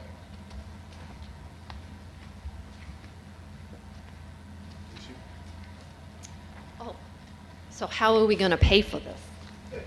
So um, we have a special article, this is Article 11 that we're discussing right now. Um, We do, we are not doing a debt exclusion.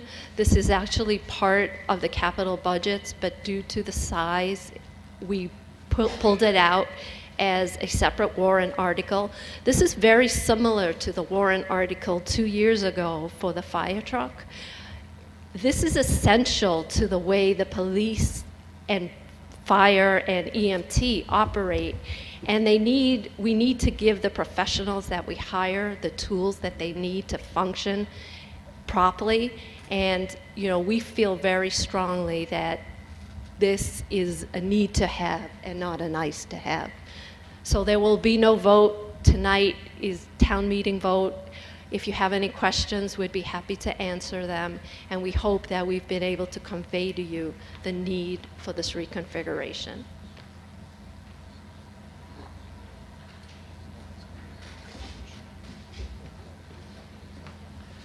Thank you, Chief McGowan and uh, Mrs. Hunter. Uh, Could I ask you a quick question? When you, you you meant to say that there'll be no ballot vote. Okay, um, so the, the, the vote will be a town meeting, but there will not be a subsequent ballot vote.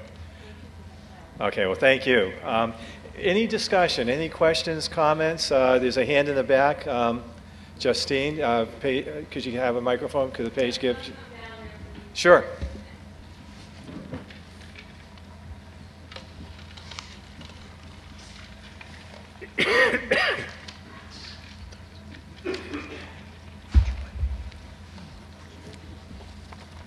Yeah, Justine Kent Uratam, Haven Street. I'm going to take you at your word, Jim, that you say that town meeting is a deliberative session. Okay. So I hope there will be some debate about this.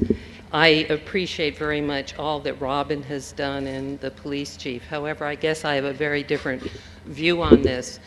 Um, there have been other incidents in our town where we've done building renovations, where we have had building uh, committees, whether it was the town garage, whether it was the Caryl School and trying to figure out whether to renovate it as a community center or to build new. My tradition in Dover, going back to the 70s when I moved here, was for all important uh, capital items like this, there would be a committee. I consider 455,000 a lot of money.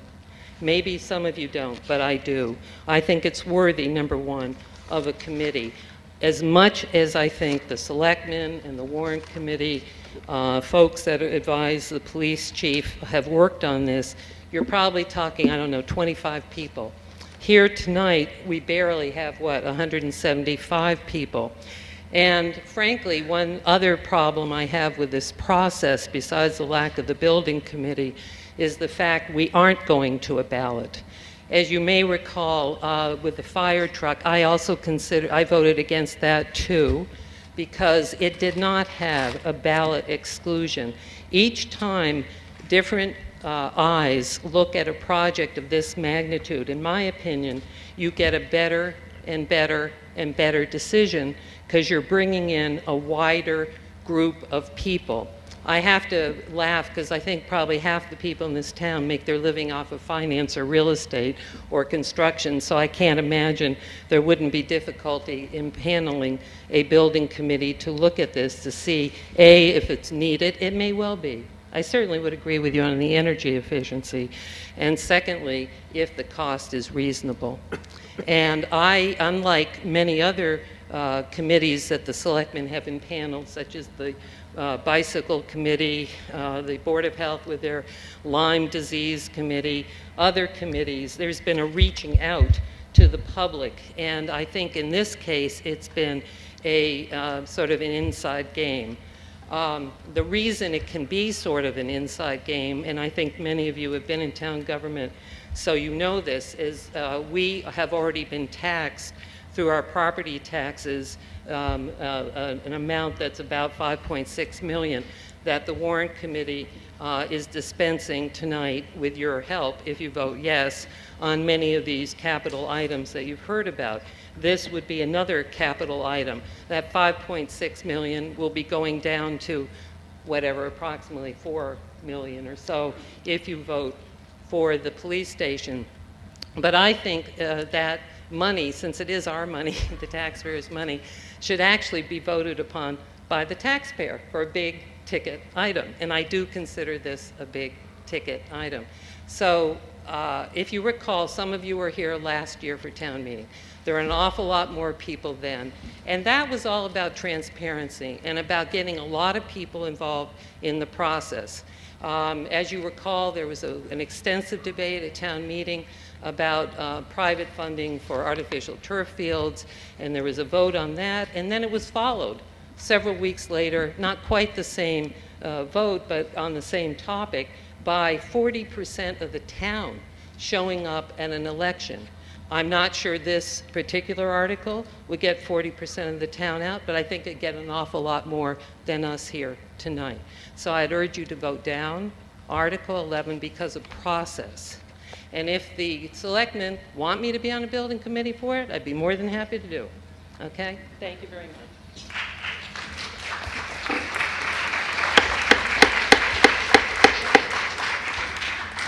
Thank you very much. Uh, c- If I could ask you to please hold your applause so that we can continue the discussion. Um, uh, Ms. Hunt, Ms. Hunter, would you like to respond to that? Justine, thank you for your comments. Um, First of all, we did embark upon a process. Um, I think it, this project has really been vetted. The feasibility study has been looked at very, very carefully. I think it's, we have some really hardworking people on capital budgets and the warrant committee who have gone and spent many, many hours making sure that A, the costs for this project are appropriate, making sure that there was a need for this project. I think it, we also, as a town, have publicized on our website, in the newspapers, asking people to come to the police station if they couldn't make our open houses. The police chief, I know, gave some private tours to citizens that couldn't make our two open houses. You know, we have been completely transparent. All of the capital budget committee's meetings are, are posted and are public, as are the warrant committee meetings. We've, we had a, provided a similar presentation at the open hearing. I, you know, we, we got no feedback um, from the town, but I think the process we went through was a good one, and I hope we've been able to convey the need for this. Okay, thank you, Mrs. Hunter. Uh, Any further discussion? Questions, comments? Yes, sir. Can I have, uh, oh, you can come up to the mic if you like.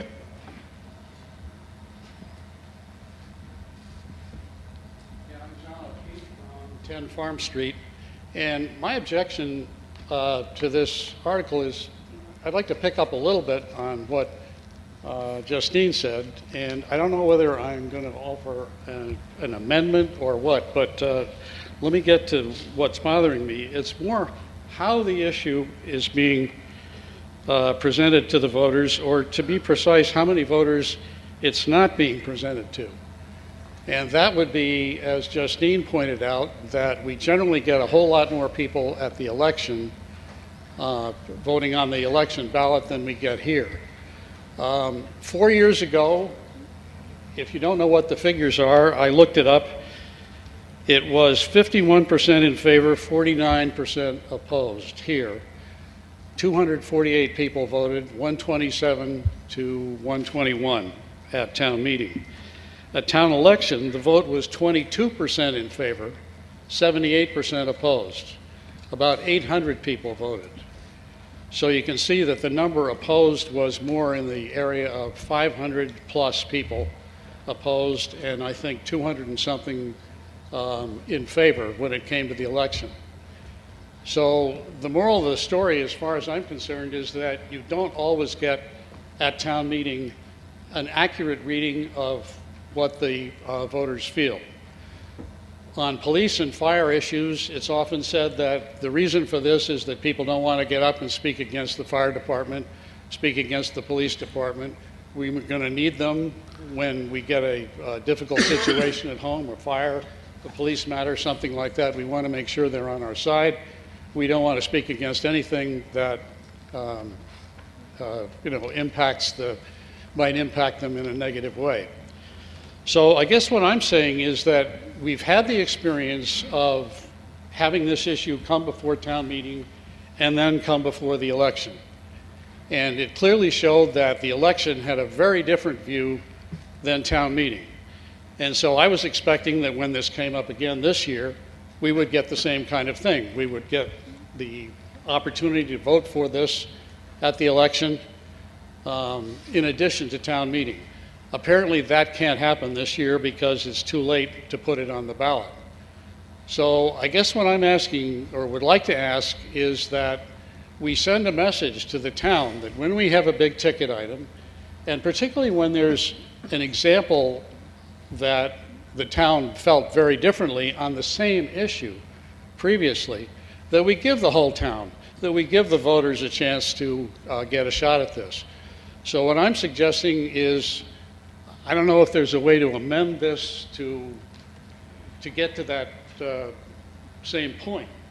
But if there's no way to amend it, I'd like to ask that we vote it down for this year, bring it back next year on both the town meeting and the town election, and let's go at the merits.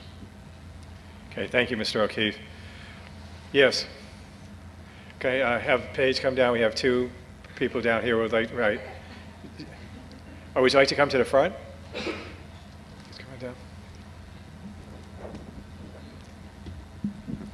Hi, I'm Amelia Slosby. I'm on Normandy Road. And I would just argue that everyone got this in the mail, and everyone had a chance to read it, and if you felt strongly against it, you could be here tonight and vote on it.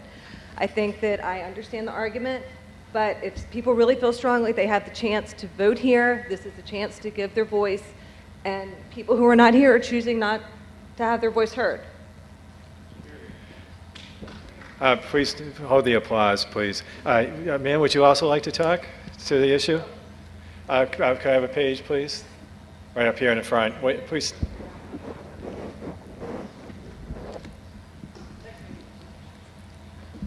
Um, Kristen Dennison, Springdale Avenue, and I would actually concur with what Amelia said in terms of we have the right to vote. This has been well publicized, and if people felt strongly, we come to town meeting to exercise our, our privilege.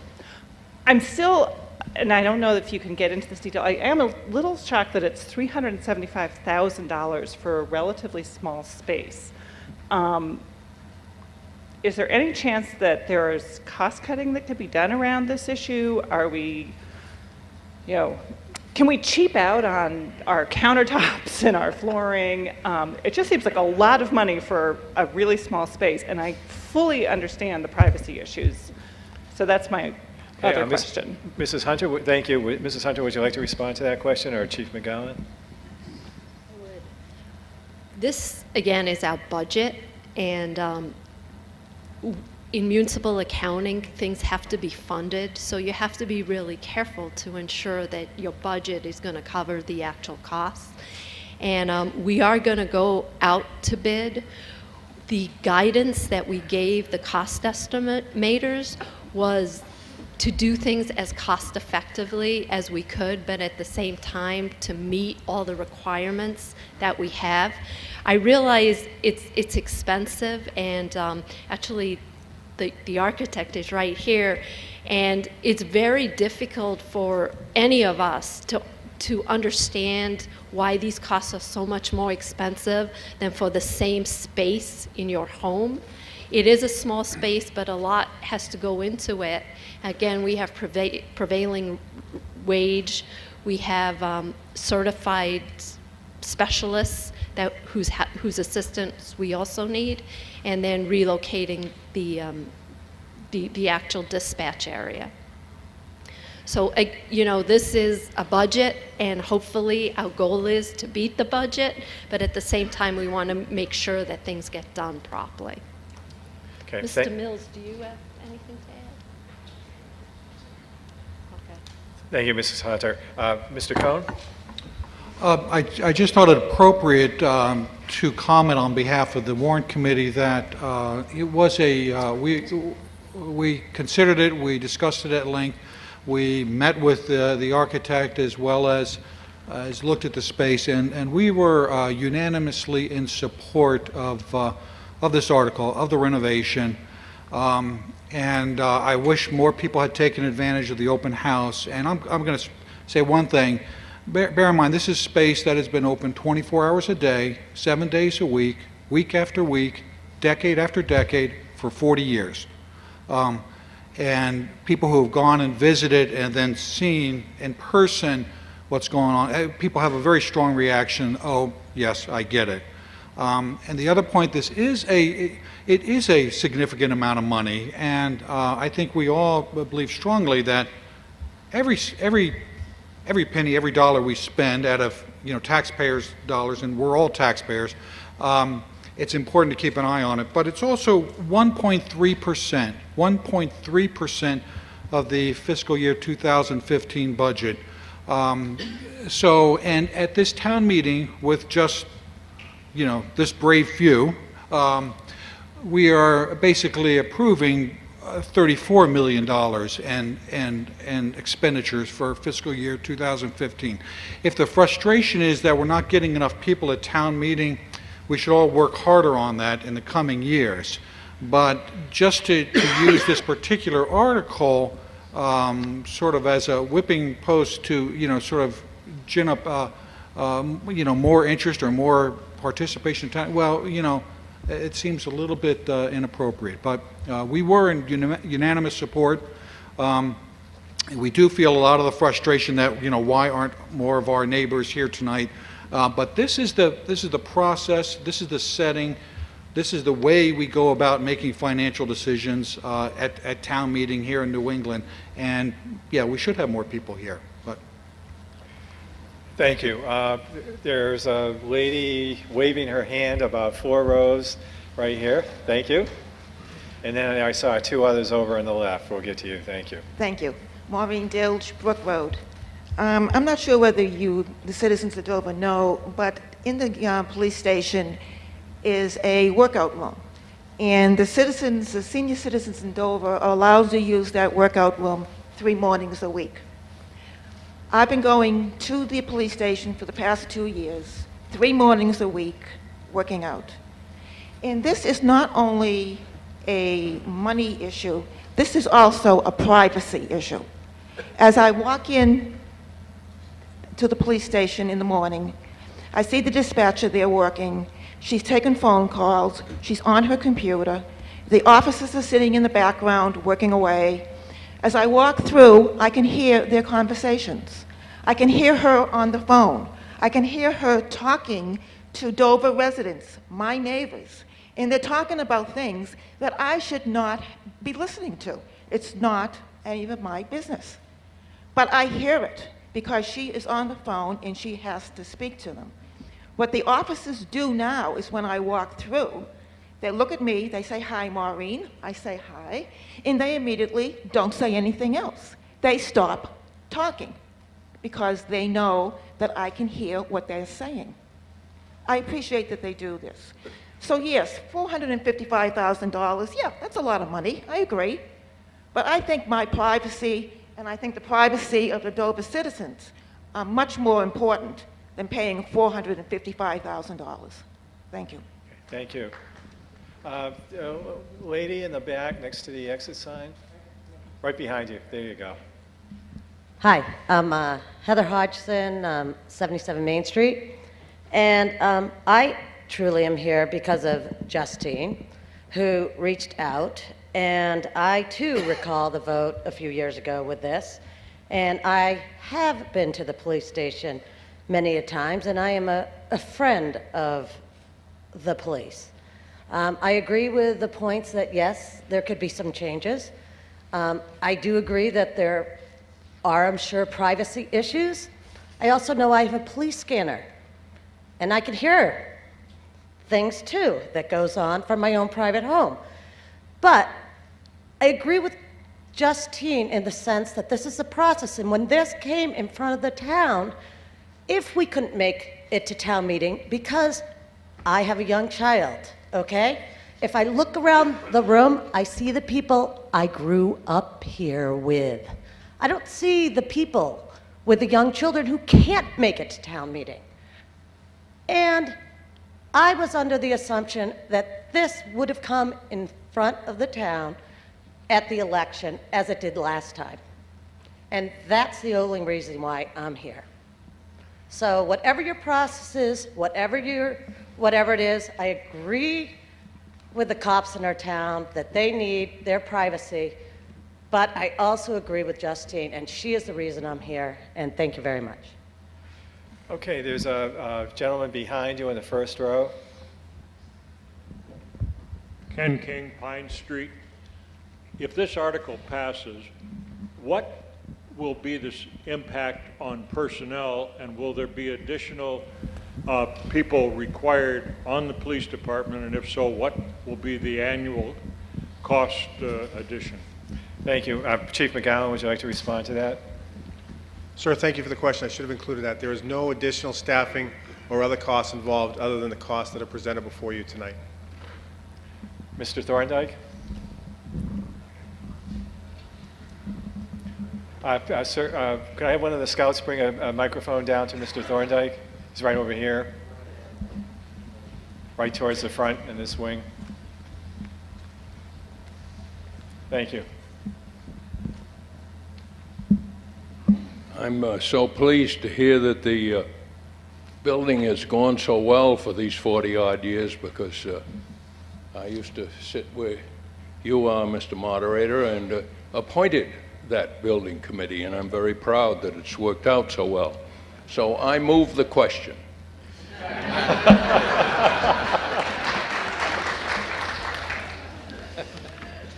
A motion has been made to move the question. It is not debatable, and it requires a two-thirds vote. All those in favor of moving the question, please say aye. Aye. All opposed? Motion carries unanimously. Okay, let us turn to the motion. The motion is to approve the appropriation of the sum of $455,000 for the purpose of design and construction to renovate the dispatch area in the Protective Agencies building.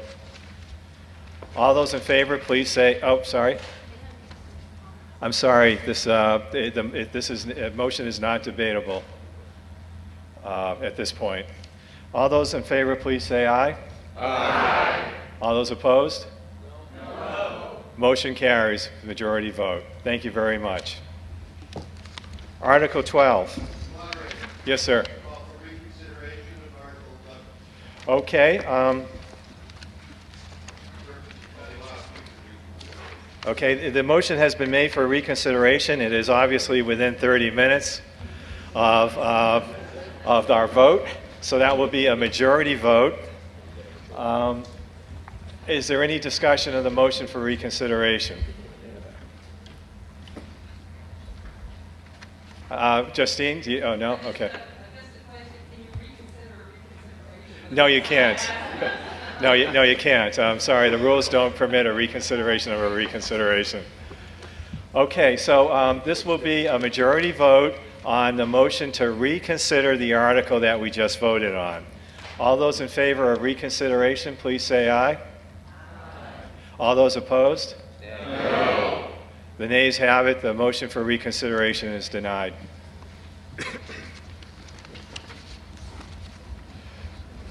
Now you see why it's important to stay at town meeting after the motion is voted on. And I remind you that this, uh, there will be other articles that we may also have to uh, consider, reconsider, so please stay throughout the meeting. And I would also like to compliment everybody on the high level of their discussion. Uh, you really, all of you, even though uh, expressing different views, but everybody did the town very proud. Thank you very much for that high level of discussion.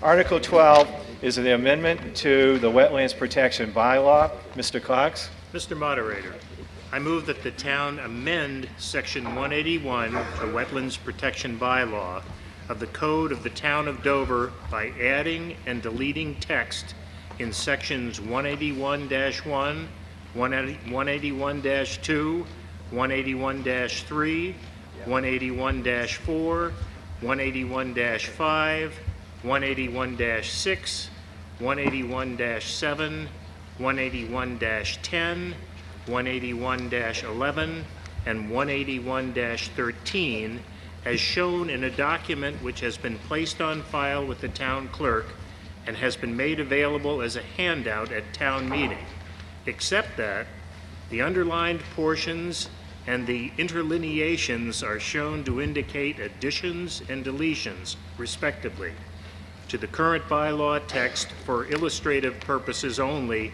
and will not appear as underlining or interlineations in the bylaw as amended by this motion.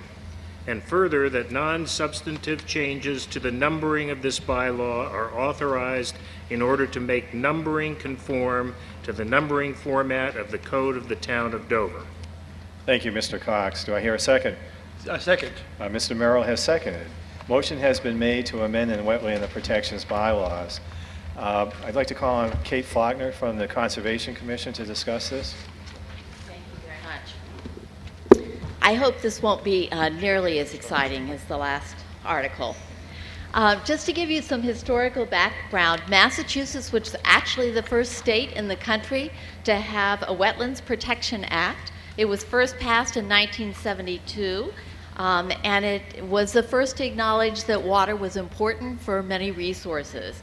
The actual enforcement of that act is generally done by the 351 Conservation Commission, that are around the state. Um, in Dover, our Conservation Commission was established in 1986 by the Wetlands Protection Bylaw. It's, the bylaw has been revised in 1994, and now, nearly 18 years later, we've decided it's time to update it again because citizens and members of the Commission noticed that there were small discrepancies that were um, creeping in or um, it wasn't clear what the process was. We had a series of open um, hearings to both look at the bylaw and then the rules and regulations which are authorized by the bylaw and which contain kind of the day-to-day -day workings of the commission. And you do have a copy on the table as you came in of the, of the complete bylaw with the alterations. So it's important for you to know that all of the changes are technical in nature. There are no substantive changes to any of the definitions. There will be no difference in what is a wetland as defined in Dover. These are things that are more in terms of uh, promoting consistency and clarity. There are seven major areas. If we go to the next slide. So in terms of transparency, an example would be that we took the word aesthetics out as um, a criteria that the commission uses to judge a, proj a, project because we didn't feel that could be supported. Um, they simplify the bylaws. It currently stands, there are some definitions um, that are in the bylaw and other definitions that are in the rules and regulations. We move them all to the rules and regulations so that people wouldn't have to look at two documents when they came in front of the commission. They modernize procedure. Abutters are always required um, to have notification of a project on a property that's near them. And um, it was certified mailing, and now the post office offers a lot cheaper ways of notifying abutters that would be accepted and are actually encouraged by the state. And also, Massachusetts has um, passed the Rivers Protection Act. The original wetlands protection didn't have anything to say about rivers, and in um, and so we've incorporated those changes into the bylaw. The next. We tried to clarify the processes. For instance, every time that we gave um, a time frame, we now have a start and a finish to that time frame so that it's quite clear. And we also specified exactly how long each approval is um, good for. There was a discrepancy before where the bylaw said one thing and the rules and regs said another. They, we're trying to simplify the application process. Um, for instance, right now the bylaw has a list of things that are required for application. The rules and regulations have another list. Again, like the definitions, we moved everything to one place so it would be easier for um, citizens. And there were a couple of just simple Scrivener's errors that had crept in when it, the, uh, when it went digital. so we ask respectfully for approval of the amendments um, we, the approval of the bylaw amendments will make them very consistent with our rules and regulations. Our goal, again, is not to change the nature or enforcement of the wetlands, but to promote the clarity and transparency and consistency so that the commission is able to work more easily with the citizens of the town. And we're open for questions at this point.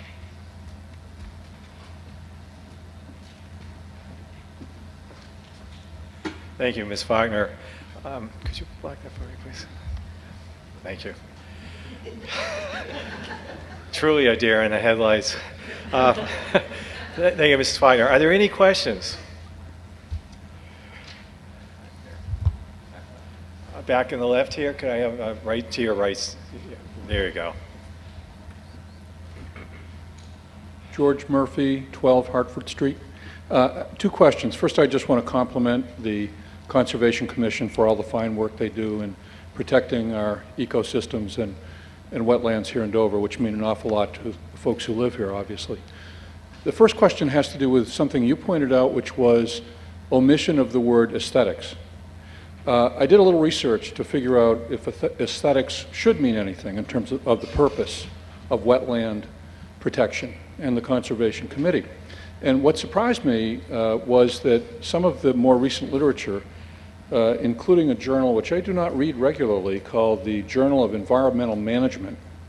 Uh, very recently, I've had a number of articles that have talked about what the layperson brings to the table, to the Conservation Commission, to town government, with regard to the importance of decisions that are being made with regard to applications and determinations.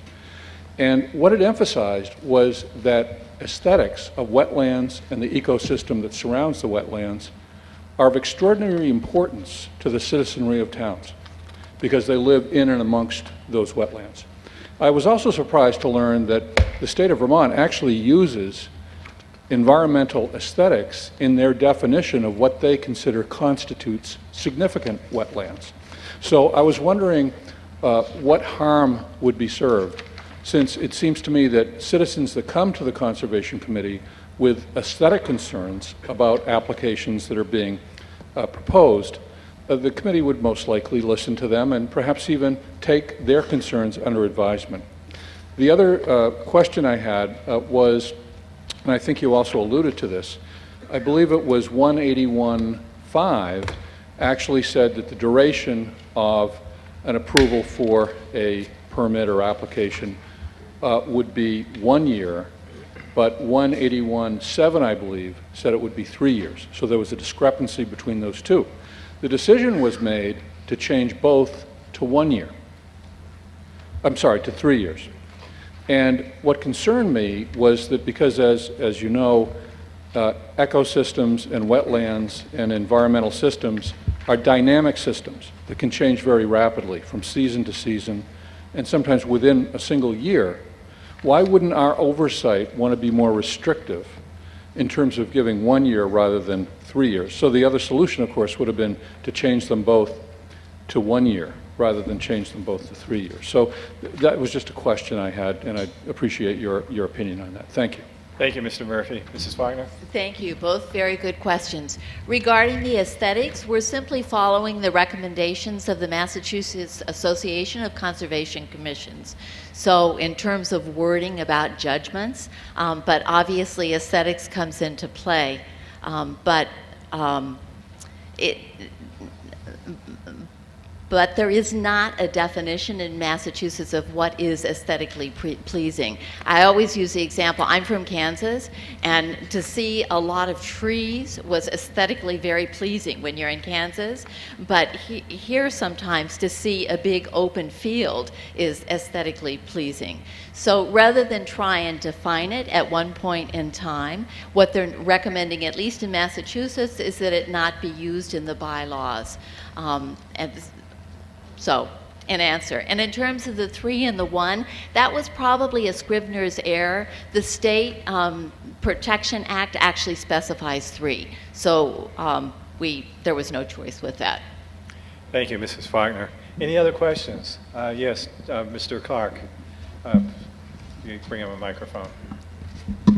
Since the question was raised, uh, I'm just curious if we could ask town counsel if there is indeed any case law that even supports a determination of aesthetics. Okay, Mr. Clark. Uh, Mr. Leahy? Um, Bill Leahy, Town Counsel.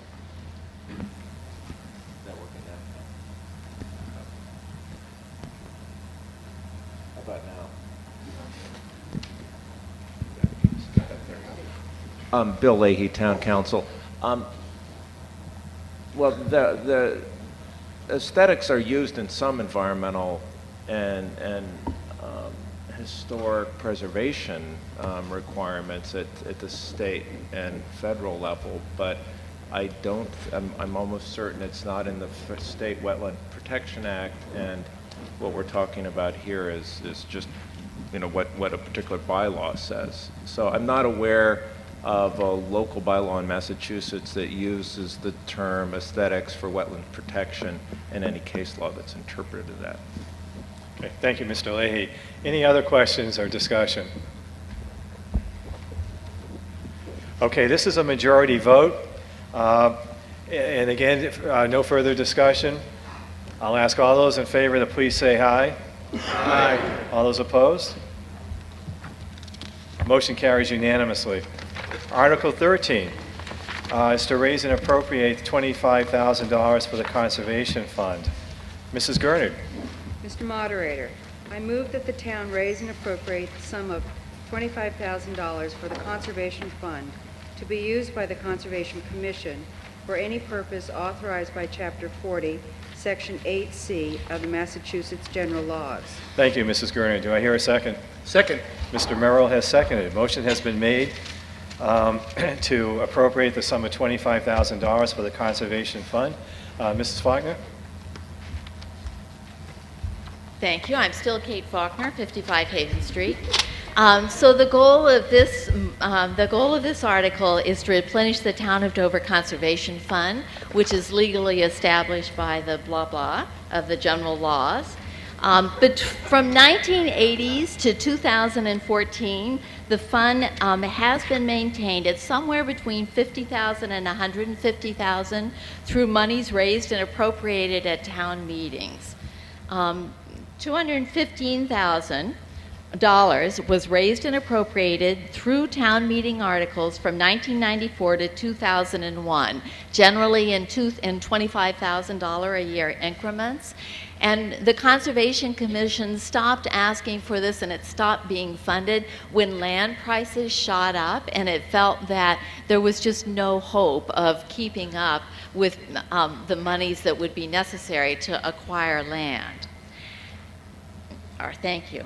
Um, however, we have found that there have been several times in recent Dover history, including a time this year, where that por portions of that fund have been used to acquire um, parcels of land to be, and this is the definition, retained for conservation and passive recreation use. If you go to the next slide, there are three examples that we give, and not to go into great detail, but they give, they show you how we were able to use small amounts of money to really um, leverage um, that fund to work with a partner in um, uh, getting something for the town that we otherwise wouldn't have been able to do. So in 1997, there was 100 Center Street, in 2000, Wildwood, and in 2013, just last year, the Brody property on Dedham Street. So in both the cases of Center Street and the Brody property and Wildwood, the monies for the Conservation Fund really provided a placeholder to organize other people around in order to come up with a package deal. If you go to the next the next spot, for instance, the Fullerton land, that's seven acres, it's off Center Street. The Trust for Public Lands actually got involved with that, and they were the group that uh, were able to provide the majority of funds until the funds could be raised um, from uh, different sources. And the Brody, property, the same way. The Conservation Commission was able to donate some of that money, but, but then it was, um, much of it was given by either the land trust or by private donors. So um, it's not enough to buy, but it's enough to start a process and get others on board. Unfortunately, the current situation is that we've now got $27 in the fund, and that is not going to be enough. so, what we would like is to come to the town and find out whether you're interested in getting us back to that about 150,000, which has stood us in good stead for the past 20-odd years. Um, So we come before you tonight to get a feeling for the citizens, from the citizens of Dover, whether you'd like to start with a $25,000. Our ultimate goal is to get back to 150,000. Um, but 25,000 to start, just to see if you feel, as we do, that it's important to be able to act quickly and provide the seed uh, around with others can contribute um, on critical pieces of property. Thank you.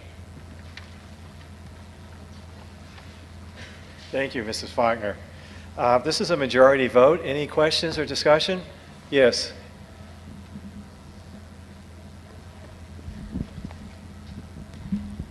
I'm Jean McDonald from Main Street, and um, I've supported the Conservation Commission and uh, admired their purchases of land. I am concerned that some of the land is not being maintained very well. In particular, there's a beautiful parcel on the corner of Main Street and Haven Street, which was purchased a long time ago to preserve a vista.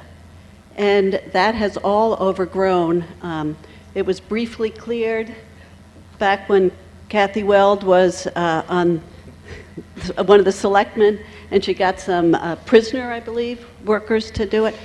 My question is, can this, can this $25,000 be used to maintain some of the lands that we already have and that have fallen into uh, a state that's not as nice as it was when we purchased them? Thank you. Thank you, Mrs. McDonald. Mrs. Faulkner? Uh, Thank you. This land, uh, this money could not be used for that. It's for acquisition. However, we do have another fund, and we have been uh, working closely this past year to develop a maintenance project in conjunction with the Open Space Committee. So one of our other projects was to do just that, and hopefully we'll be moving forward um, with other citizens and try and get to some of the deferred maintenance. This is for acquisition, however. Okay, Thank you. Any other questions?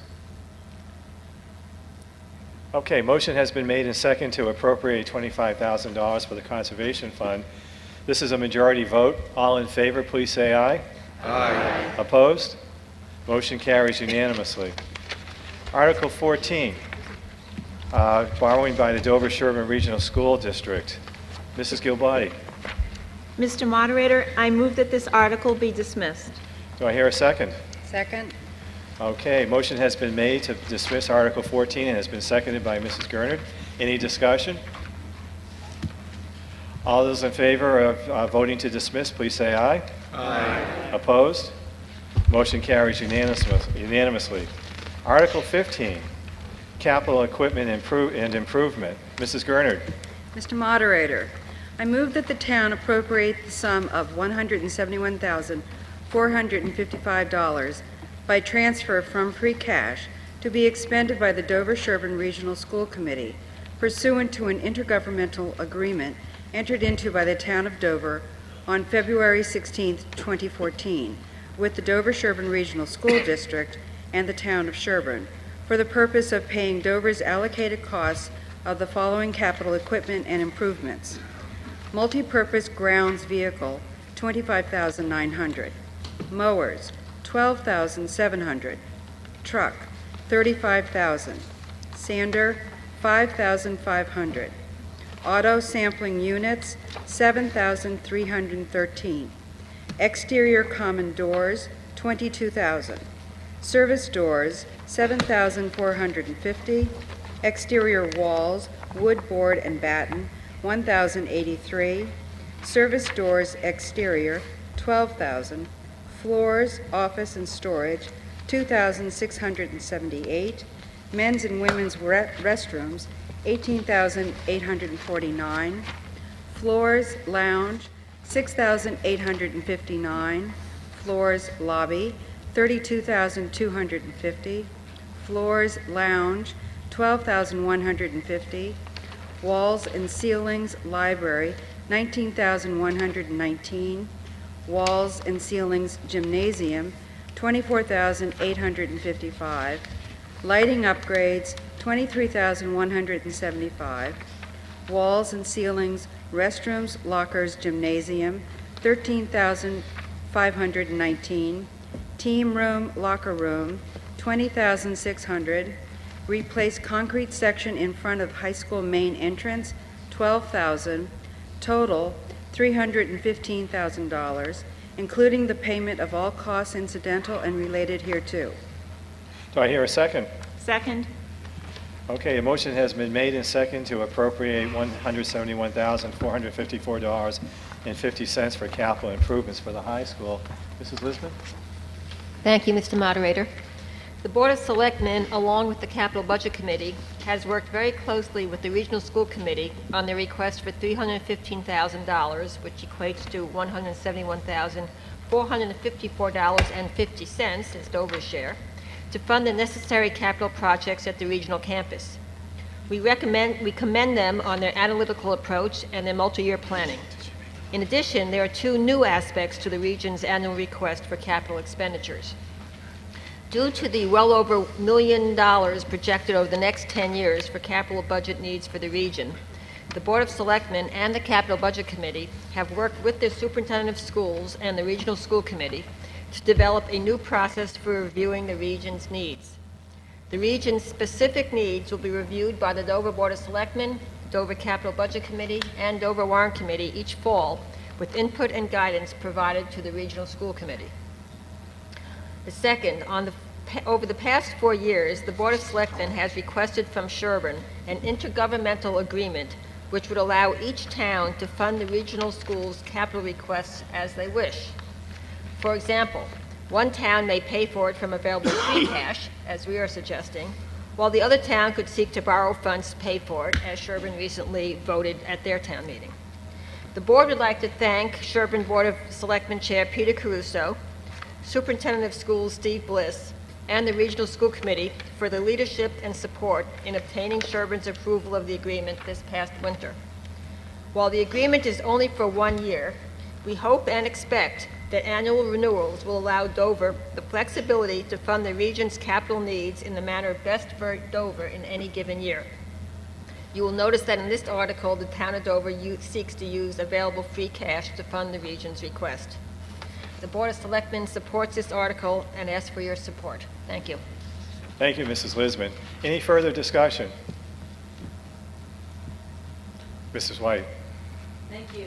Uh, Dana White, uh, 158 Farm Street, and Vice Chair of the Regional School Committee. We thought that since uh, we were embarking on the new process, as Mrs. Lisbon said, that it would be smart to take a few minutes just to explain to you what that process looks like, because we plan to come back uh, every year with a little bit of a different request, and this will hopefully set the stage for a smooth process over the next few years. Just to remind people of the history, in 2003 we embarked between the two towns on a $40 million project uh, on, at the regional campus, and that included a major renovation to the high school, the athletic fields, a brand new middle school, shared facilities such as the wastewater treatment facility, a major upgrade to the room that you're sitting in thanks to, in part, with the Mudge Foundation, and all of the projects that were associated with that. We then enjoyed collectively basically a 10-year honeymoon period. Very limited maintenance requests, very small up upgrades. Now we've hit 2014, and when we look forward from that, we want to make sure that we're doing things in a, in a way that's going to maintain these buildings in the manner in which that we as the two towns would like to see them. We want to make sure that we're never in a position that we've deferred maintenance so much as to make the buildings um, cost a great deal to, to bring up to speed. We had an opportunity last year to address an issue that was not done during the 2003 renovation, which was to put the air conditioning in the middle school. And thanks to the taxpayers of both towns, we did pass that project, and it has been installed and is working magnificently in the middle school. And I think the teachers and the students would both thank the, the townspeople for the, that project. We want to be able to leverage new technologies such as the lighting upgrades and to work with NSTAR and to figure out how to pay for those, hopefully. And also, but most importantly, to create a capital budget process that we can live with. Fundamental to that process is that we're moving from a one-year window to more of a five to 10-year look at our capital projects. In 2012, we commissioned an outside agency, OnSite Insight, to go through hundreds of potential projects in the, in the regional campus. Every asset was looked at to determine when the end of useful life might be, what, how much it might cost to, um, to bring that, to, in, to uh, renovate that place, part and to make sure that we know exactly when that should happen. So on an annual basis, we sit down with the, the administration within Dover Sherborn, with Ralph Kelly, the Director of Facilities, and Chris Tagg, the Business Manager, and really look at each of those dates. So is the project still on track? Should it be pushed back? Should it be moved up? Are there projects that should be lumped together in order to identify economies of scale? Is there anything that should be placed on that list that hasn't been there before? And to make sure that the costs that were in the original plan are actually accurate in this year. Uh, we bring all that together. We also obviously look at what we've asked for in the past to make sure that we're doing the right things with the money that we've been given already. And together with all of that information, develop the warrant that you see in front of you. We then, as Mrs. Lisbon alluded to, sit down with pretty much every committee in both towns to make sure that we're all on the same page as to what we're requesting for capital, and then bring forward the warrant that you see. Um, Mrs. Gernert listed the 20 different projects that make up the $315,000 capital request for this year. I'd be happy to go through any of them, but um, we, uh, we have details on all of those, and our share of that is $171,000, $454. Uh, to give you a sense of what it's going to look like over the next five years, we're looking at an average request of about $365,000 annually. Um, right now, those projects are sitting as the numbers you see up there, ranging from a low of 230,000 in fiscal 18 to a high of fiscal 16 of 432,000. Obviously, some of these might change, some of the numbers might change, but it gives you a sense of what we're looking at. What we like to think of it as is it's basically less than 1% of our asset cost. And I think all of us who own homes would be pretty happy if our renovation and upgrade costs only cost 1% of our asset value in a given year. So I think we're doing pretty well on that. Uh, we have looked out as far as 10 years. As, as, I said, there are some big projects coming down the road out in 2020, 23, and 25 around HVAC systems and roofs. Obviously, um, we will do a lot of work with the different boards in town to make sure that we're addressing those and financing them appropriately, and everybody knows what's going to be coming down the pike. Uh, the caveat there, obviously, is that things might change, but we'd be certainly uh, updating everybody annually on what, what will be accurate for that year. So I hope that gives you a sense of what, what the uh, 315,000 and what our share of it entails for this year. And thank you very much for your support. Thank you, Mrs. White. Thank you very much. So we have a motion uh, to raise and appropriate $171,455 for capital improvements. Any further discussion? This is a majority vote. Uh, Mr. Crowley.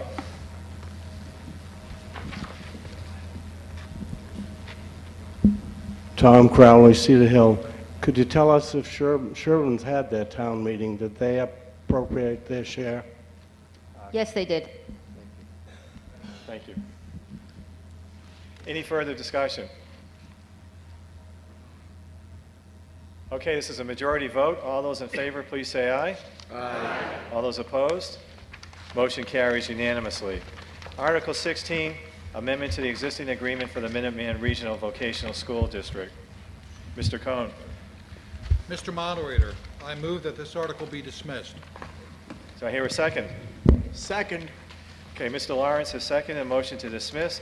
I'd like to now call upon the Chair of the Board of Selectmen, Mr. Dolly. Thank you, Mr. Moderator. Article 16 is of special interest to the Board of Selectmen. The town of Dover is currently one of 16 member communities that belong to the Minuteman Vocational School District. Minuteman has identified the need to either significantly renovate or construct a new school building. The current agreement gives each member town one vote, regardless of their student enrollment, which does not lend itself to approval of Minuteman's future needs. For several years, the Minuteman School Committee has been working with member towns to amend the agreement, but the proposal put forth to the selectmen to date is incomplete and contains numerous assumptions on other member communities in the Commonwealth's actions. In addition, the proposed amendment severely penalizes Dover in the allocation of capital expenditures. The Board of Selectmen cannot recommend approval of the, this proposed amendment at this time, as we do not have all the information and guarantees we need. The Board of Selectmen will be notifying the Minuteman School Committee of our specific needs and conditions to ensure that Dover's financial concerns are addressed and that our students continue to have the opportunity to attend the school. We, therefore, recommend dismissing this article and expect that we will bring this uh, issue back at a future town meeting. Thank you. Thank you, Mr. Dolly. Any further discussion on this motion to dismiss? This is a majority vote. All in favor, please say aye. Aye. Opposed? Motion carries unanimously. Article 17, amendment to the zoning bylaw in regard to medical marijuana facilities. Mr. Forte. Mr. Moderator, I move that the town amend Chapter 185 of the zoning bylaws of the town of Dover by one, deleting in its entirety Section 185-10-1, moratorium on medical marijuana treatment centers. Two, deleting the definition of medical marijuana treatment center in Section 185.5. Three, adding a new section 185-46.2, special requirements for medical marijuana facilities, as shown in Exhibit 1 of the Planning Board report, copies of which have been placed on file with the town clerk and made available as handouts at town meeting.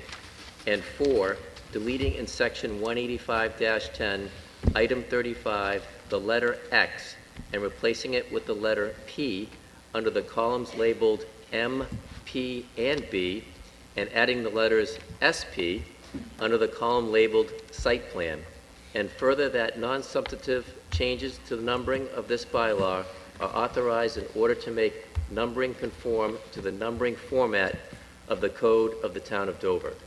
Thank you, Mr. Forte. Do I hear a second? Second. Thank you, Mr. Lawrence. Motion has been made to amend the zoning bylaw pertaining to mar- medical marijuana treatment facilities. This requires a two-thirds vote, and state law also requires that the planning board uh, present their report to town meeting. If I could call upon the chair of the planning board, Mark Sarro.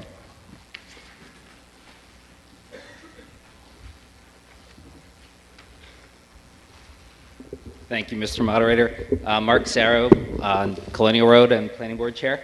Uh, the Planning Board thinks this is a, a, fairly straightforward article, but I do want to explain a bit about it uh, since it's a relatively unique issue. Uh, this article is actually a follow-up to Article 18 at last year's annual town meeting. Uh, last year, we voted to prohibit medical marijuana facilities in town uh, for one year in order to give the Planning Board time to draft this bylaw. Again, the Attorney General ruled that towns can't ban these facilities outright.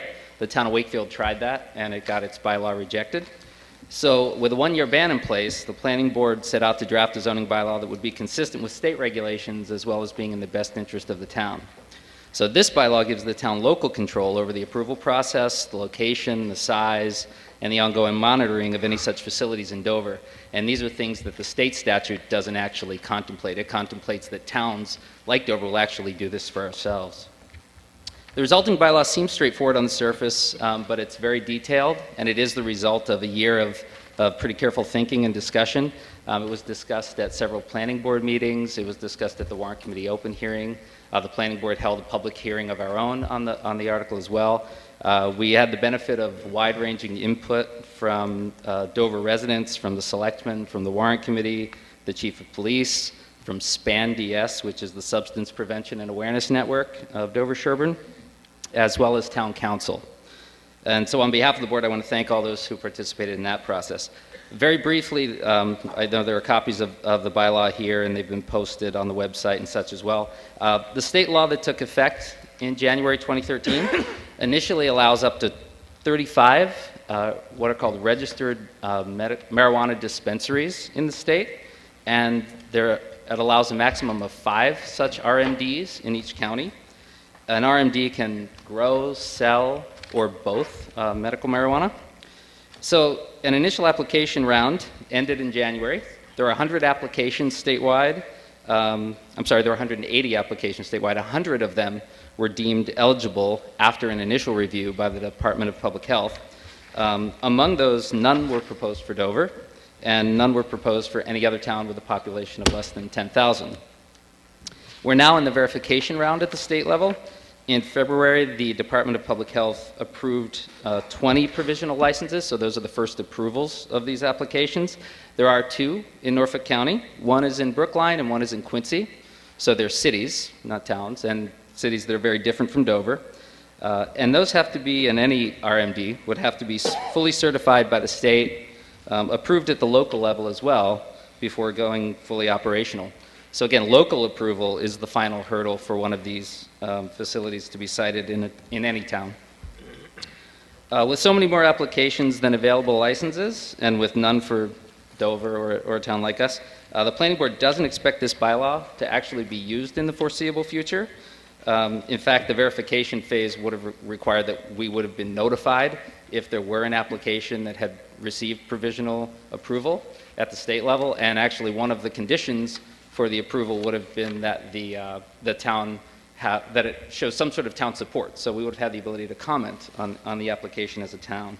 Of course, that, that hasn't happened. Um, but that doesn't mean that the, uh, the bylaw itself um, isn't needed. In, in general, as, as with every other uh, part of the zoning bylaw, having local controls in place uh, is very important. Uh, the state touts that Massachusetts regulations are among the strictest in the country on medical marijuana. Uh, there are uh, background checks and, and checks of the financial strengths of the applicants. Only nonprofit entities are eligible for licenses. Um, most growing activity has to be done within a building because under the state statute it's required to be in designated, locked, limited areas that are under 24-hour um, surveillance by cameras. Um, so they can't be, for example, in very large open fields. Um, and there are strict security standards in addition to that. Um, and these facilities have to get a new registration with the state every year. But still, on, on top of that, there's no substitute for strong local control. Um, and so the planning board uh, crafted this bylaw uh, to allow, to the extent we can, local control over any of these facilities that in the future might be proposed for the town, even though there's none on the table now. So to summarize, um, the key provisions of the bylaw are that it require a special permit from the planning board um, in order for a site to be um, permitted here in Dover. This is a higher hurdle than most things that come before the board. It, it's a process that requires four of the five votes of the board, not just a simple majority. Uh, special permits also aren't transferable under the bylaw, so if ownership changes uh, of a facility, the owners would, the new owners would have to come back to the planning board, um, and a special permit would have to be extended to them. Uh, these, the bylaw also restricts any uh, dispensaries to uh, a limited number of designated locations within the town. Specifically, it restricts the locations to the business and medical professional districts that are in the center of town. And so that means that one of these facilities could not be located in the residential districts, which are the majority of town, or anywhere else in Dover other than one of those two designated districts. And uh, we have a map, just to make clear for everyone, since you may not know where those districts are, that just show where these areas are in town. So this is a this is a, um, a snapshot of the center of town. The, the red building in the center is, uh, is Town Hall, just for just to get your bearings. Uh, you can see Walpole Street, Dedham Street, Center Street, Whiting Road marked out. So the areas that are in gray are residential areas or are official or open space districts. They're in gray because these are areas that under the proposed bylaw, uh, a registered marijuana facility could not be sited. The only areas in which uh, an RMD could be located are in the white areas, which are portion, which are the medical and the medical district, uh, which is the, the one parcel over on the left-hand side, and then the business districts, uh, which are the white parcels in the center and to the right. You can see that in addition to limiting RMDs to be sited in those particular districts of town and nowhere else, the bylaws it's proposed also requires a 200-foot setback from any place where children would congregate frequently. And so that setback's denoted by the green line on that slide. Uh, and it rules out much of the business district on the right-hand side. And it rules out parts of the business district uh, in the center as well.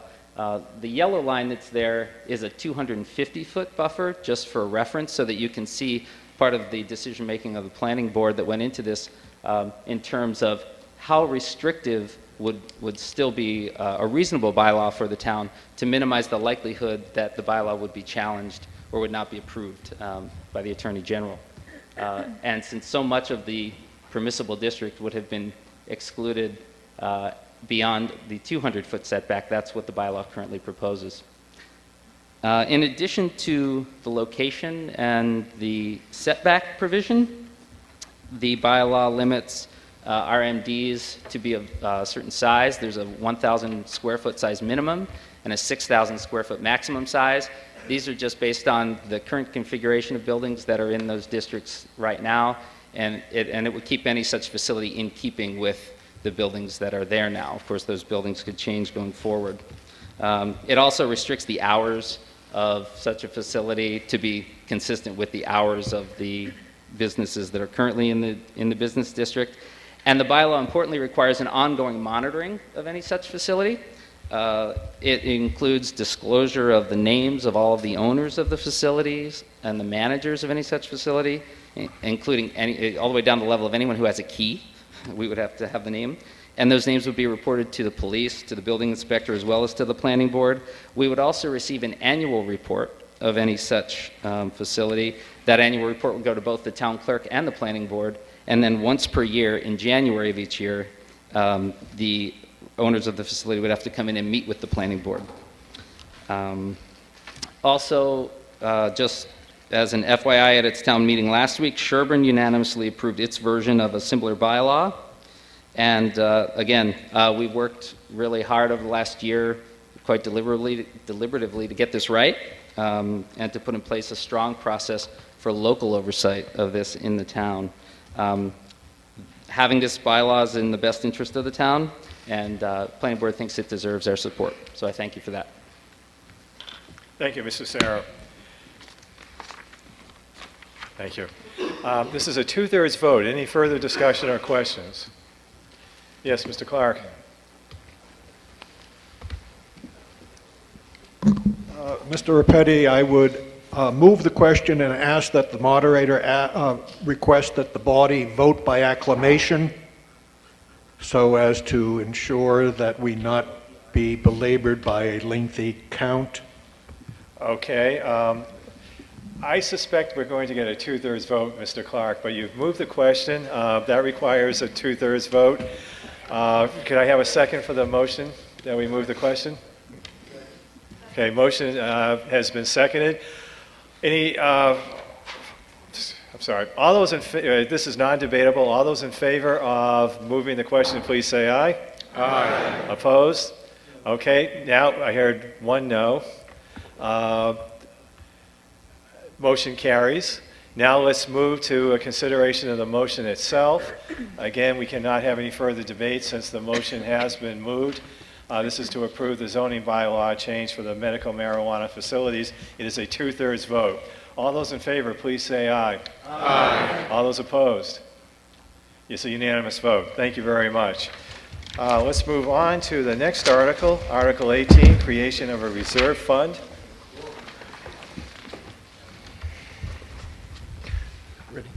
Uh, Mr. Stewart? Mr. Moderator, I move that the sum of $250,000 be appropriated for a reserve fund for fiscal year 2015 to provide for extraordinary or unforeseen expenditures pursuant to Chapter 40, Section 6 of the Massachusetts General Laws, and that to meet this appropriation, $200,000 be raised and $50,000 be transferred from the overlay surplus. Do I hear? Thank you, Mr. Stewart. Do I hear a second? Second. Mrs. Gilbarty has second. Motion has been made uh, that $250,000 be appropriated for a reserve fund. Any discussion? This is a majority vote. Okay, no discussion. All those in favor, please say aye. Aye. Opposed? Motion carries unanimously. We're almost there. Article 19, unpaid bills. Mr. Merrill. Mr. Moderator, I move that this article be dismissed. Second? Second. Mr. Merrill has made the motion to dismiss. Mr. Cox has seconded. This is a majority vote. Any discussion? No discussion. All those in favor, please say aye. Aye. Opposed? Motion carries unanimously. Article 20, supplemental appropriations. Mr., uh, Mrs. Gilbody.